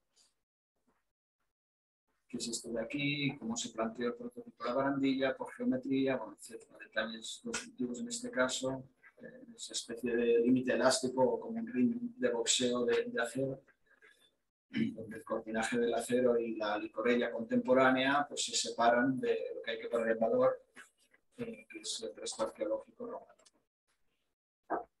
Muy poco presupuesto, unos fondos FEDER de 120.000 euros. La elasticidad también aplicada en vivienda en esa audimbre previa a la aparición de la madera y previa a la aparición de, las personas que se lo hacen suyo, ese esa sombra o ese sol o esos elementos donde colgar, eh, tender la ropa, poner una antena parabólica, etcétera, etcétera. O por el otro lado, la vegetación que filtrará el viento de mestral dominante y refrigerará las, las viviendas eh, después de pasar por dos capas vegetales, la del bosque de chopos, que está enfrente, que es este de aquí, los cortinajes de, de hoja caduca en el vertical. Con la elasticidad en la pérgola del barcino, también hace 14, 15 años, o en la casa de la calle Minerva, en ese balcón contemporáneo, al lado de nosotros, que igual que este miden pues 45 de vuelo. O la electricidad de la pérgola de Sero, donde esas pértigas de 4 metros y medio vuelan, son 6, un metro y medio empotrado, eh, para construir esa sombra en esa esquina poniente y donde la Partenophyssus quinquefolia, como material de construcción, tiene esa propiedad de enroscarse en, elementos lineales como son las varillas y construir esa, esa calidad de sombra con una buena temperatura gracias a esas gotitas que veis ahí, que es la cualidad de la vegetación de evotranspirar, la evotranspiración, que es lo que realmente produce ese intercambio de temperatura y de frescor de estar en una buena calidad debajo, que eso en la Alhambra lo descubriréis mil veces. Es decir, proyectar una sombra es proyectar con el tacto, no es proyectar una pérgola el objeto que teóricamente da sombra y que muchas veces te da más calor debajo si lo haces con acero, ¿no? o haces un plano de hierro, o construyes un banco con hierro, un plano de hierro, te quemas las piernas. Eh, una cubierta de hierro, pues te da más calor, es un horno debajo, o una cubierta de cristal para que transparencia, no sé qué, pues te hace efecto invernadero. O sea, la mejor sombra es la que te produce la vegetación y la más económica es plantar un árbol. ¿no? En este caso sí lo que buscamos es que la propia inclinación del elemento, la plantación está en el plano inclinado y ya sube, no tiene que remontar dos metros y medio hasta llegar al plano. En este caso en Lleida, eh, esa es la, imagen final de, si esa necesidad existe, donde acabaría, eh, donde acabaría también el paso del tiempo, de esa primavera a este verano ya con nebulizadores eh, para dar un grado de humedad superior, el otoño con esas hojas caídas que no se limpian y son compostaje de todo lo que hay alrededor con el viento irán transitando hacia ahí. Y esa sección o esa estructura del Museo del Clima. Esta es la, la, verdadera estructura del museo, que es cómo los cuatro elementos naturales interaccionan entre ellos desde la inercia, la acumulación de agua, eh, la masa vegetal para interaccionar con el viento, la ventilación cruzada y la gestión en alianza de defensa con la radiación solar. Y eso es la estructura del museo clima, que es la estructura de cualquier construcción en la planeta Tierra o cualquier madriguera o, nido de los otros animales. Nosotros somos los únicos que no entendemos estas leyes de, habitar.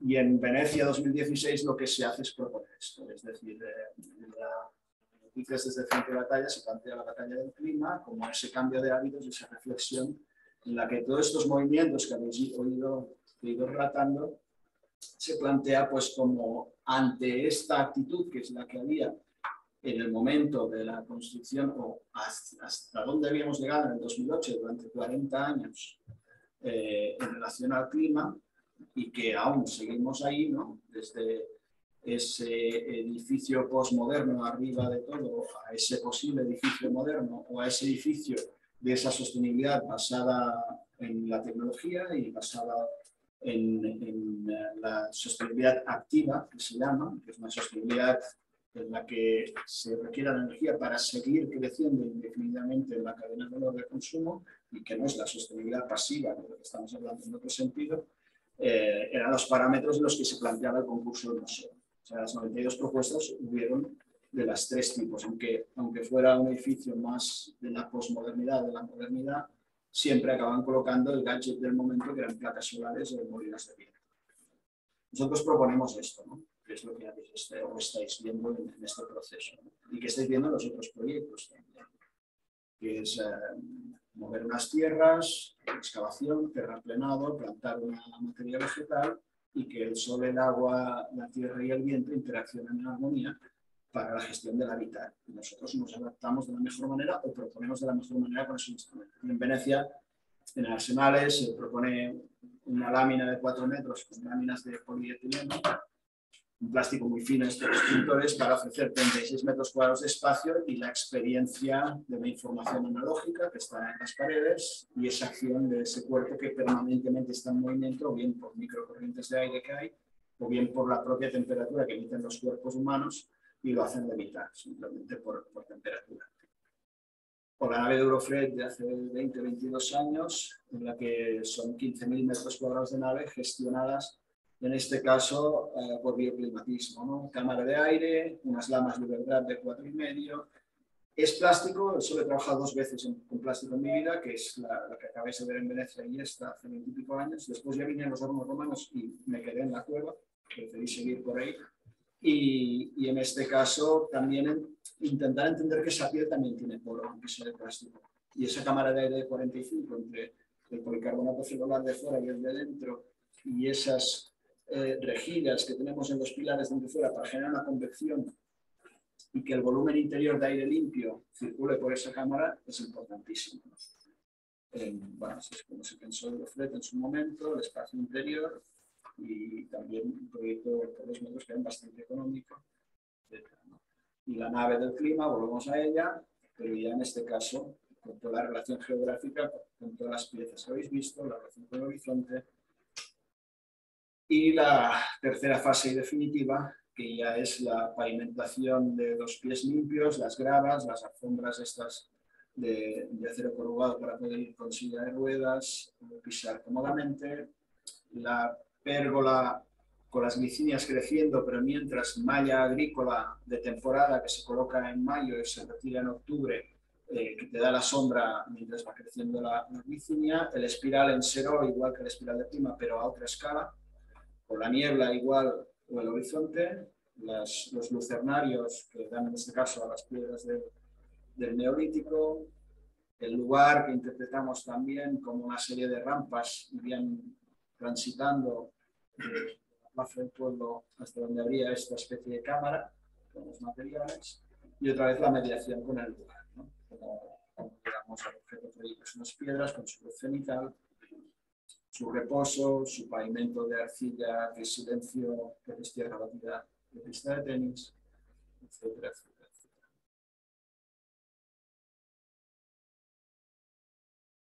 Y a la cubierta, funcionando el primer verano de la inauguración, con los nebulizadores, la glicinia que sigue trabajando en el tiempo,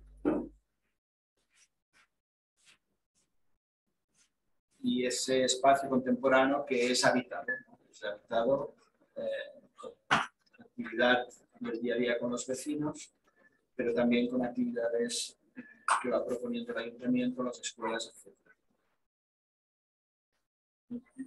Y lo que tenía que ser la antigua escalera de esas exposiciones es este, estas lianas de cero con la parte de cisos que va hacia arriba y donde planteamos la, la condición material y el paso del tiempo como elemento constructor de habitabilidad y que es lo que en la escuela de Reus constantemente estamos eh, tratando con los estudiantes. En primero, las primeras clases que recibimos en el bosque de Chopos, hablamos ahí, eh, ven ese reloj de tiempo, cómo ese espacio funciona diferente en, otoño, cuando empiezan las clases, invierno, primavera o verano.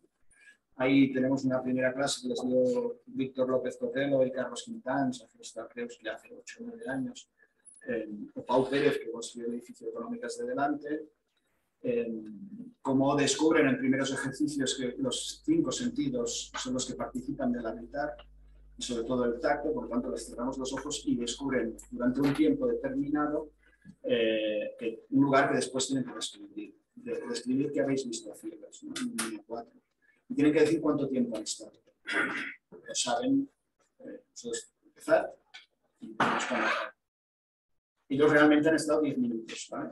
Y hay algunos que dicen que han estado 5 y algunos que han dicho que, que han estado 20. O sea, el tiempo es elástico dependiente del receptor con sus constantes vitales, con sus sensores, con sus sentidos de cada sujeto, la experiencia es distinta. Es muy importante que proyectáis para todos esos mundos. Y como descubren el paso de esa alfombra y cuando atravesan esa línea, el, tacto les hace ver que ahí ha cambiado algo. ¿no? Entonces empezamos a activar esos sentidos, incluso descalzos, etc.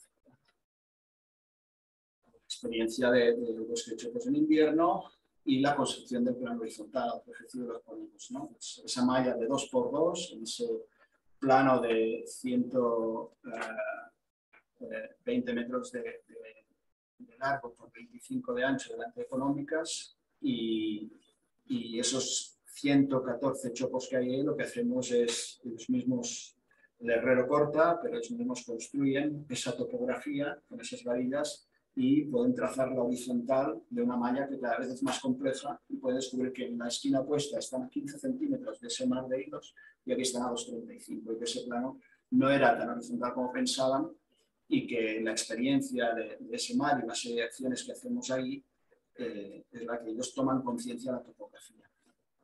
Y también toman conciencia de los grupos de árboles, que hay 114, cómo están agrupadas las unidades, casualmente o no etcétera. O la construcción del plano horizontal, otro plano que tenemos de 2.000 metros cuadrados, detrás ¿no? Es una foto con Francisco Fuentes, Nuria Salvador, etcétera. Hace ya 10, 12 años. Ahora estoy más en quinto proyecto final desde hace 6 años. Y aquí con Pera Riera a la derecha, Carlos Pita y Antonio Almá de Mallorca. ¿no? La fiesta final de curso, que los, los de primero proyectan para el resto de la escuela. Y este es mi final de curso, por ejemplo, aquí estoy en primero de carrera acabado y, y este, es, este de aquí es Espera Riera, ¿no? que bueno, yo quedé admirado de, sus clases y tal, pero no nos conocimos hasta el 97, 14 años después, ¿no? cuando empecé a llevar mi tesis doctoral.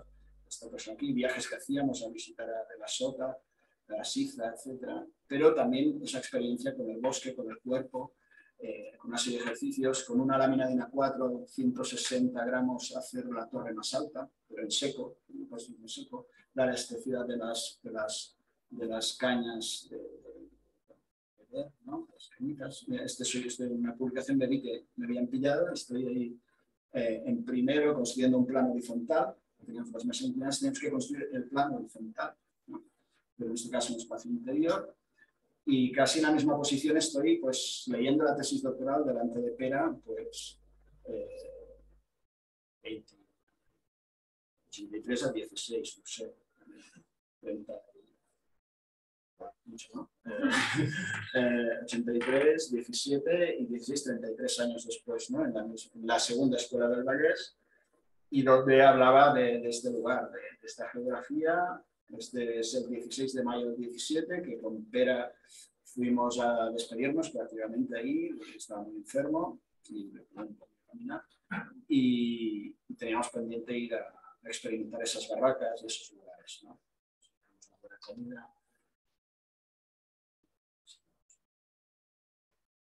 Y bueno, este lugar, pues que también a partir de un único material se interpreta que de ahí pasan a generar toda una construcción, una geografía, que cuando hago la tesis no me la dejan desarrollar porque era arquitecto, no era un geógrafo.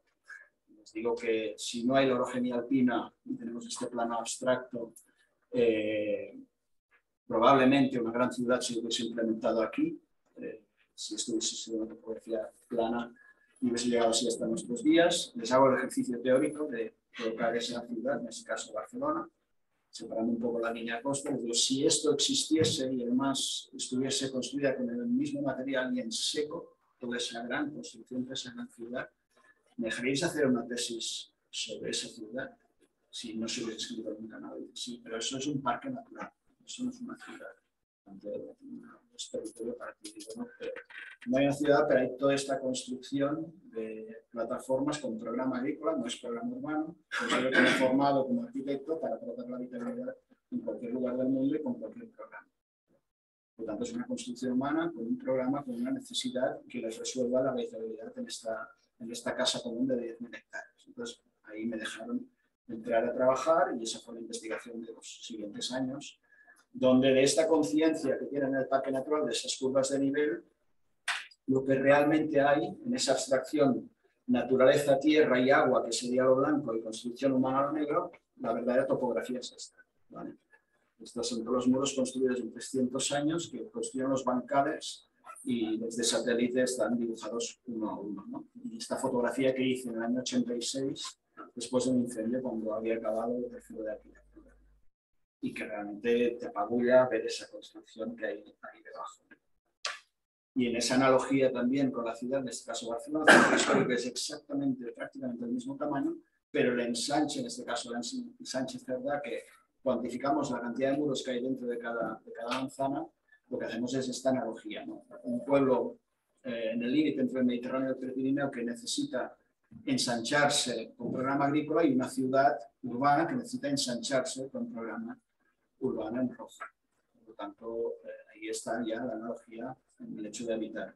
Y más ahora que estamos en transición y que físicamente cualquier municipio tiene que empezar a tratar lo que antes, hace 20 años, los terrain back o terrenos baldíos como espacios de oportunidad para establecer la continuidad y las transiciones de escalas con el territorio para poder habitar mejor. Las ciudades, el coche, todo esto que está Y bueno, todo ese material que se mueve ahí en la montaña va bajando por decantación eh, en el tiempo, en una topografía que se va puliendo, puliendo, puliendo, hasta que llega a las playas y con esa acumulación de materia que vemos en el mapa que registré científicamente de, de donde había más densidad, pues las playas que se van conformando son de un material u otro en función del movimiento que la especie humana ha hecho en el mágico. Si hay más movimiento de piedra, las playas son de piedras. Si hay, como en rosas, prácticamente cero movimiento, las playas son naturales, son de arena, que es lo que era en el Prepirineo antes de toda esta intervención humana. Por lo tanto, con primera conclusión de la tesis, no necesito decir nada, frase de Benjamin, solo uh, basta con mostrarlo. ¿no? Es decir, el proceso. Si tú diagnosticas bien, lees bien la vitalidad en la preexistencia, sea la que sea, la escala que sea, y sigues el hilo de lo que te va dando el proyecto, eh, la respuesta aparecerá por decantación. Yo no digo nada, solo explico lo que he mapeado y lo que he cuantificado y lo que te muestro. Y acababa con esta frase parasma de, de, acerca, de la, acerca de la duración, ¿no? de, esa materia que tiene ese tiempo y que realmente te transmite esa duración y que en la Alhambra lo veréis uh, constantemente. ¿no? El paso del tiempo, en, cómo el clima interactúa con vosotros, pues sobre todo en la respuesta material que se da. Y cerraba la sugerencia de Pera con, esas manos, pero que también después, no en la tesis, sino en los agradecimientos aparece esa foto, que es, estoy con cuatro años con una piedra en la mano y descalzo ahí en esa topografía, ¿no? Es decir, que igual seguramente vosotros sois portadores de cantidad de cosas desde vuestra infancia que la sociedad no deja salir, pero que tenéis una mirada poética propia y que, y que ahí es donde hay que buscar, no, no afuera, que ese, ese bombardeo de imágenes que al final lo único que genera es inseguridades. ¿no? Y, y, bueno, y que, y que esa decantación al fin tiempo después genera nuevas construcciones también, ¿no? Es decir, que ese material ha llegado ahí, esas playas son completamente artificiales. Tú haces un geotécnico y un metro y medio más abajo está la playa de arena igual que Rosas. Esto es material que se ha ido acumulando los últimos 300 años, producto de la intervención humana arriba en, en la montaña. ¿no? Y que después aquí pues, vamos jugando y existe toda esta construcción con esas patas de elefante y esas grietas ¿no? en la piel de ese gran elefante que son esas líneas ¿no? construidas solo con la energía orgánica, con el cuerpo de las personas y de los animales, nada más. ¿no? Y volvemos ahí a, para cerrar, como va pasando el tiempo, va cambiando la vegetación, la hoja, y cómo ese espacio gestionado por el ayuntamiento va siendo ocupado por las personas, o si en un momento, a veces por demagogia política, viene otro partido y quiere que eso no funcione y lo deja parado y deja de hacer actividades, pues la, la, vegetación encuentra su lugar, las personas se apropian de esa ruina, lo utilizan para ir a correr, a hacer gimnasia, pero es un espacio que está preparado para ser un espejo para la especie. Si tú me necesitas, yo estoy ahí. Si no me necesitas, me abandonas, yo sigo mi ritmo con una piedra, ¿no? Ahí estoy esperando. Y eso es el manifiesto, esa es la propuesta del Museo Clima, que para mí es una actitud, no es, no es esta construcción, este proyecto en sí. ¿no? Y bueno, creo que poca cosa más, ¿no? Al final, eh, bueno, no quedan los, los baños, es verdad, pues así. Eh, esos baños que construimos para esa nueva plaza, eh, reciclando material de la obra parada, etcétera, etcétera, con esas viñonias que ahora ya cubren todo y, a la tarde te dan un jardín de sombra cuando vas a refrescarte o vas, al baño, las jáfinas preexistentes, las, las picas de agua a escala de los niños o de las personas mayores, y que es el Objectube, ¿no? de alguna manera, como un material puede ser utilizado eh, cumpliendo sus condiciones, sus, eh, fue pensado para otra función, pero aprovechando las propiedades que tiene, tú lo puedes utilizar en el caso del hábitat de otra manera, puede ser en cero las, las botellas, los envases de vino blanco de las cooperativas del lugar, eh, el botellero cerámico, que es un elemento de mobiliario para exponer botellas con su cartoncito y tal, pues en este caso se transforma en, esta fachada que vemos aquí con estos agujeritos. ¿no? Eh, en vertical, juntando el material viene obra con sus pares, hacemos pruebas con diferentes botellas y con el foam como elemento que es el tubo de los instaladores, donde pasan las instalaciones, que son de 9-10 centímetros, los ajustamos a la cerámica y hace de mediador entre hierro y entre cristal y cerámica. Pruebas que queríamos probar con tejas, con historias, y al final vamos con el botellero, se retrasa el cubo de botella 5 centímetros, eh, que es, el cubo de botella es más duro que un cabeza, a martillazo, pero lo retrasamos 5 centímetros para proteger del sol vertical de verano y la hace de pequeño grisoleil. Hay 1800 botellas, 1800 agujeros y el sol horizontal de invierno le da la radiación y nos ofrece calor hacia el interior. ¿no? Esa mancha roja es silicona que se coloca en la mayoría de botellas. Algunas las dejamos sin silicona. Eh, en invierno tenemos el tapón de corcho eh, colocado porque necesitamos la cámara de aire eh, en verano lo quitamos y solo dejamos puestos los corchos, que son puntos negros que detectas fácilmente para indicar las botellas que no tienen silicona detrás y que puedes extraer. Y que de forma seriada, tres, tres, tres, cada X espacios, eh, son agujeros de 10 centímetros que por efecto Venturi aceleran el aire.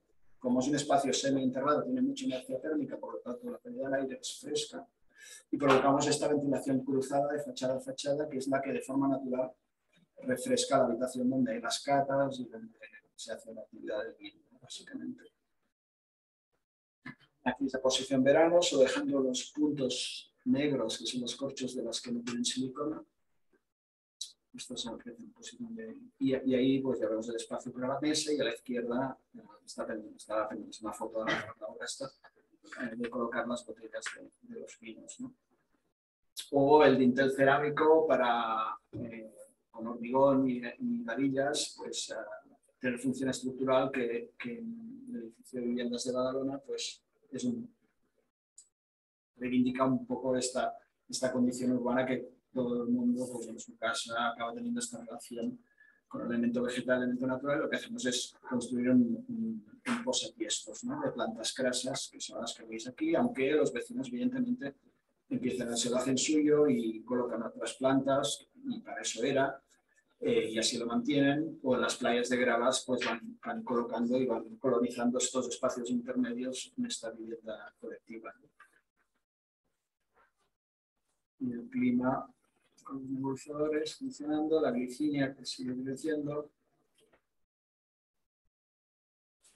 el reciclaje de los materiales para diferentes funciones a diferentes escalas, la del cuerpo o el gran acantilado, o en sero con otros materiales a la izquierda, y al final esa geografía ¿no? que, que, va como activándose a partir de esas pequeñas intervenciones y la sección ya consolidada. ¿no? Para visitar el, el anfiteatro ya pues, cultivado por el tiempo y ha vegetado, con su alfombrita para que de las escuelas de hacer actividades. El altiplano ya pues, con sus pies limpios, no con la lutita que era barro. Y la actividad que, que empieza pues, a, hacerse lo suyo, ¿no? de alguna manera, a funciones teatrales, actividades artísticas, eh, conciertos, eh, el día a día que pasa la gente a correr y y hacer estiramiento, que esto es una acción que se hizo. Después, otra vez, en interior abajo se, se ha realizado varias veces conciertos, aprovechando la nave también. Eh, el propio parque, ¿no? que simplemente colocando una iluminación, esas casas ya tienen un horizonte en lugar, un lugar oscuro que nunca iban, pues ahora ya transitan y suben al altiplano por ahí. Pero una cosa muy bonita que hacen en verano que es el cine a la fresca, como un cinema paradiso para la gente del barrio, eh, en el cual, pues, cuando aparece eh, el viento poniente fresco con la puesta de sol, pues les carece la piel y tiene este espacio al aire libre, pero al final eh, simplemente un lugar que, que, lo único que propone es que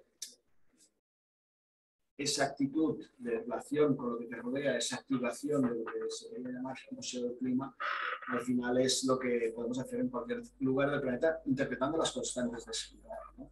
Y que en definitiva, al final, eh, pues, el Museo del Clima, pues en esta cosa que apareció tímidamente con, con, esa articulación entre el bosque y el altiplano y que acabó, y que acabó apropiándose de estos 60.000 metros cuadrados de calificación de parque que con muy poco presupuesto eh, se activó, eh, pues lo único que quiere proponer como pequeño manifiesto es que el Museo Clima pues, es el planeta, el planeta Tierra y que es la casa que habitamos. O sea, ese es el verdadero patrimonio. Y la Alhambra es la lección de arquitectura que interpreta mejor eso en, las arquitecturas conocidas que tenemos. O sea, no nos íbamos solo por los palacios, por las construcciones, sino como la topografía, el agua, la vegetación, el tipo de vegetación. La primavera ahí es una maravilla, o sea, estáis en un lugar increíble. Muy bien. Gracias. Gracias.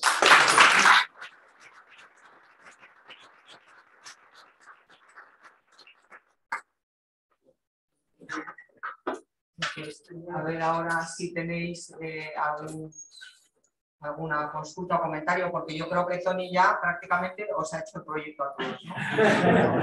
yo creo que ya tenéis todo, todo hecho, ¿no? Entonces, adelante con, con cualquier comentario que, que sea de utilidad para todos y aprovechando la sabiduría de Tony y su clase. Al final yo creo que intensidad y, transitar eh, por el tiempo. Es decir, la sabiduría no, eh, nosotros llegáis a cada una sus conclusiones en base a una experiencia intensa y, y coherente, ¿no? Mucha, mucha autoestima este. Pero yo decía Ángela que los ejercicios un poco que estáis haciendo, pues, creo que tenemos que ir a grado así después, pero Estoy encantado de saber cómo estáis enfocando o cómo os planteáis la lámpara. Sí, ¿no? Bueno, yo primero me gustaría agradecer tu exposición, estuvo fantástica y no sé, tu obra emociona mucho y a mí sobre todo me traen tus dibujos, creo que explican mucho de tu, de tu pensamiento y cómo te acercas a cada proyecto. Bueno, quería mostrar eso he montado mucho con proceso, mi manera de procesar, yo creo que cada persona puede tener la suya, pero creo que el dibujo prospectivo es importantísimo. No sé si hay otros sistemas, ¿eh? yo los desconozco, pero es muy diferente del dibujo prospectivo del dibujo representativo. El dibujo prospectivo es un dibujo que es el pensamiento que sale por la mano y cuando tú lo estás realizando no piensas si eso es queda bien, no queda bien. Simplemente estás traduciendo en ese registro lo que pasa por la cabeza. Entonces eso es un espejo con el cual puedes proyectar y mirar lo que está aquí dentro. Nada más. Es decir, mientras que otros tipos de registro, con un interface como puede ser el ordenador, absolutos como las renderizaciones, etcétera, son dibujos representativos. Dibujos que podemos hacer nosotros incluso a mano también, diciendo, bueno, esto va a quedar así. Pero el dibujo de proyecto es un dibujo que piensas. O sea, es al revés. El pensamiento sale por la mano sin pensar eh, que estás representando algo. Y que al final, o sea, esto es lo, lo, que va muy bien a veces es tú estás con un compañero explicándole tu proyecto y estás siendo un cantautor, ¿no? Estás cantando y tocando la guitarra. Estás hablando y dibujando. Estás traduciendo en palabras por aquí lo que está pasando aquí. Pues cuando esto está acabado, te va quedando ahí como pósito y es un espejo donde tú puedes contrastar y ser crítico con, con, con el proceso de proyecto que te pasa por la cabeza. Hay otras maneras de, de, de registro más contemporáneas que yo, bueno, yo creo que hay una manera de, de, proyectar ahora que es, que es viajar por la red, la gente, no sé, nada sencillo porque leo por, por las redes y hay unos copy-paste y unos Frankenstein que aparecen como sumas de texturitas o de imágenes que la gente se monta en la cabeza, entonces el conocimiento es eh, periférico y nadie busca, a partir de tu experiencia de habitar, cómo interpretas lo que después se llama arquitectura y como proyectista, qué viaje propio estás ofreciendo a la sociedad, qué opinión propia. No esa prisa de querer construir una imagen porque te angustia la incertidumbre de no saber qué será tu proyecto. Claro, es más cosas que empieza a preocupar.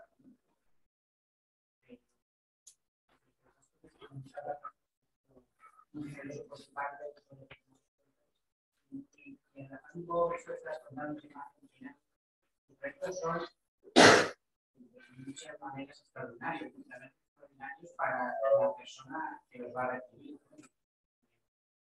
Estas imágenes finales están destinadas no tanto para que lo proyecta, sino para la persona que lo recibe. Entonces, quería preguntarte cómo es, en tu caso, la parte más ardua de gestión, ¿no? de explicación a ese cliente final, para convencerle de que, de que estos proyectos que haces, que son, hay muchas veces comprender, ¿no? De, de,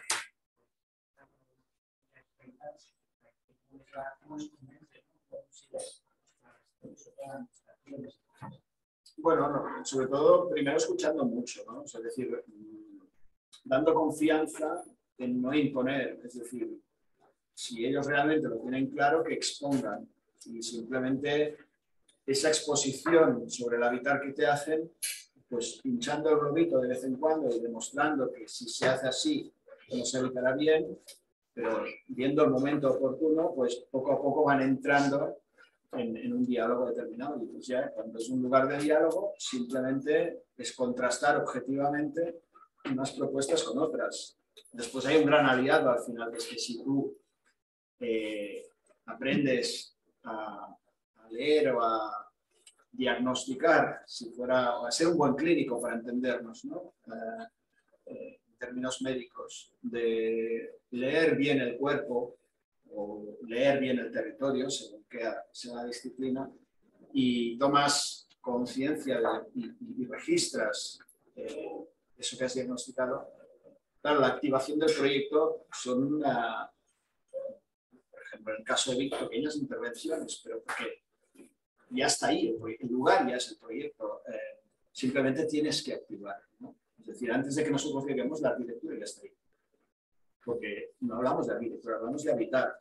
un 30, un 40, un 50, un 60, un 80% del habitar que tú proyectarás ya estaba ahí. Si lo sabes reconocer, lo sabes activar, pues normalmente la acción del proyecto es optimizar recursos y es económica. Por lo tanto, en ese debate siempre tienes este último aliado, que es que ahorran dinero, dijéramos, ¿no? O no les costará más, o además son materiales de poro abierto, que sabes que evolucionarán bien con el tiempo y que no tienen mantenimiento. Ahora, evidentemente hay que liberarse de ciertos prejuicios eh, estéticos. A mí, pues, cuando empecé con el corrugado, evidentemente yo lo coloco por una razón constructiva, que es, que el, el acero que pasiva mejor, que no tiene aleaciones porque está preparado para estar en contacto con agua y hormigón y no exfolia. ¿Vale? Si, si, tú al acero le colocas una capa de minio y dos y dos capas de pintura y lo ahogas, le tapas de poro y entra agua, empieza a pudrirse y el cáncer lo va, deshaciendo, ¿no? la exfoliación. Pero a poro abierto funciona. Ahora, ese acero tiene unas muescas preparadas para estar con hormigón, que es el corrugado, y que hace 20 años, 25, 30, pues bueno, ahora es más habitual verlo, ¿no? Eh, pero, ese prejuicio estético tenías que trabajarlo también en cada una de las personas, sea privado o público, o los programas que, vas trabajando. Pues también estamos en ese lugar de diálogo con esto. La pérgola del vacino es un lugar más conservador. Si cierran los ojos y se liberan de ese prejuicio, pues están a una temperatura de coña viendo como la gente juega al padre, ¿no? o tomando una cerveza, están a gusto. Porque ellos pueden estar en un chiringuito Ibiza en verano, pero no pueden estar ahí en invierno cuando van a ir a jugar a tenis después de trabajar. Pero claro, a la que consiga se liberen de eso, pues le va a entrar. ¿no? O sea, el cambio de hábitos será progresivo, pero es el 50% del programa más importante del siglo XXI para la especie, en lo que respecta a nuestro oficio, que es el habitar. El cambio de hábitos de la especie. Y el otro es regenerar la. O sea, nuestra relación con eso y poder a fijar CO2. Porque es que si no, esta máquina no, nos va a expulsar, o sea, nos estamos expulsando. Pero la relación es, es eso, es eh, escuchar eh, y buscar el momento para ver cuándo el otro, con mucha empatía, está preparado para recibir algo diferente a, lo que sus juicios previos le van lanzando. Insistencia y resiliencia. Pero bueno, cada proyecto es un mundo. Y a veces tampoco se considera.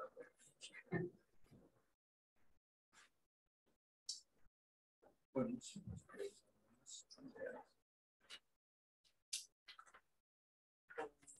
yo creo que lo dejamos aquí. Mira, yo había, le había pedido también a los alumnos que te hicieran una pequeña, una pequeña presentación del trabajo que están haciendo para que lo vieras. Eh, tenemos luego otra, eh, otra interconexión, es que vas a bajar luego a grado con nosotros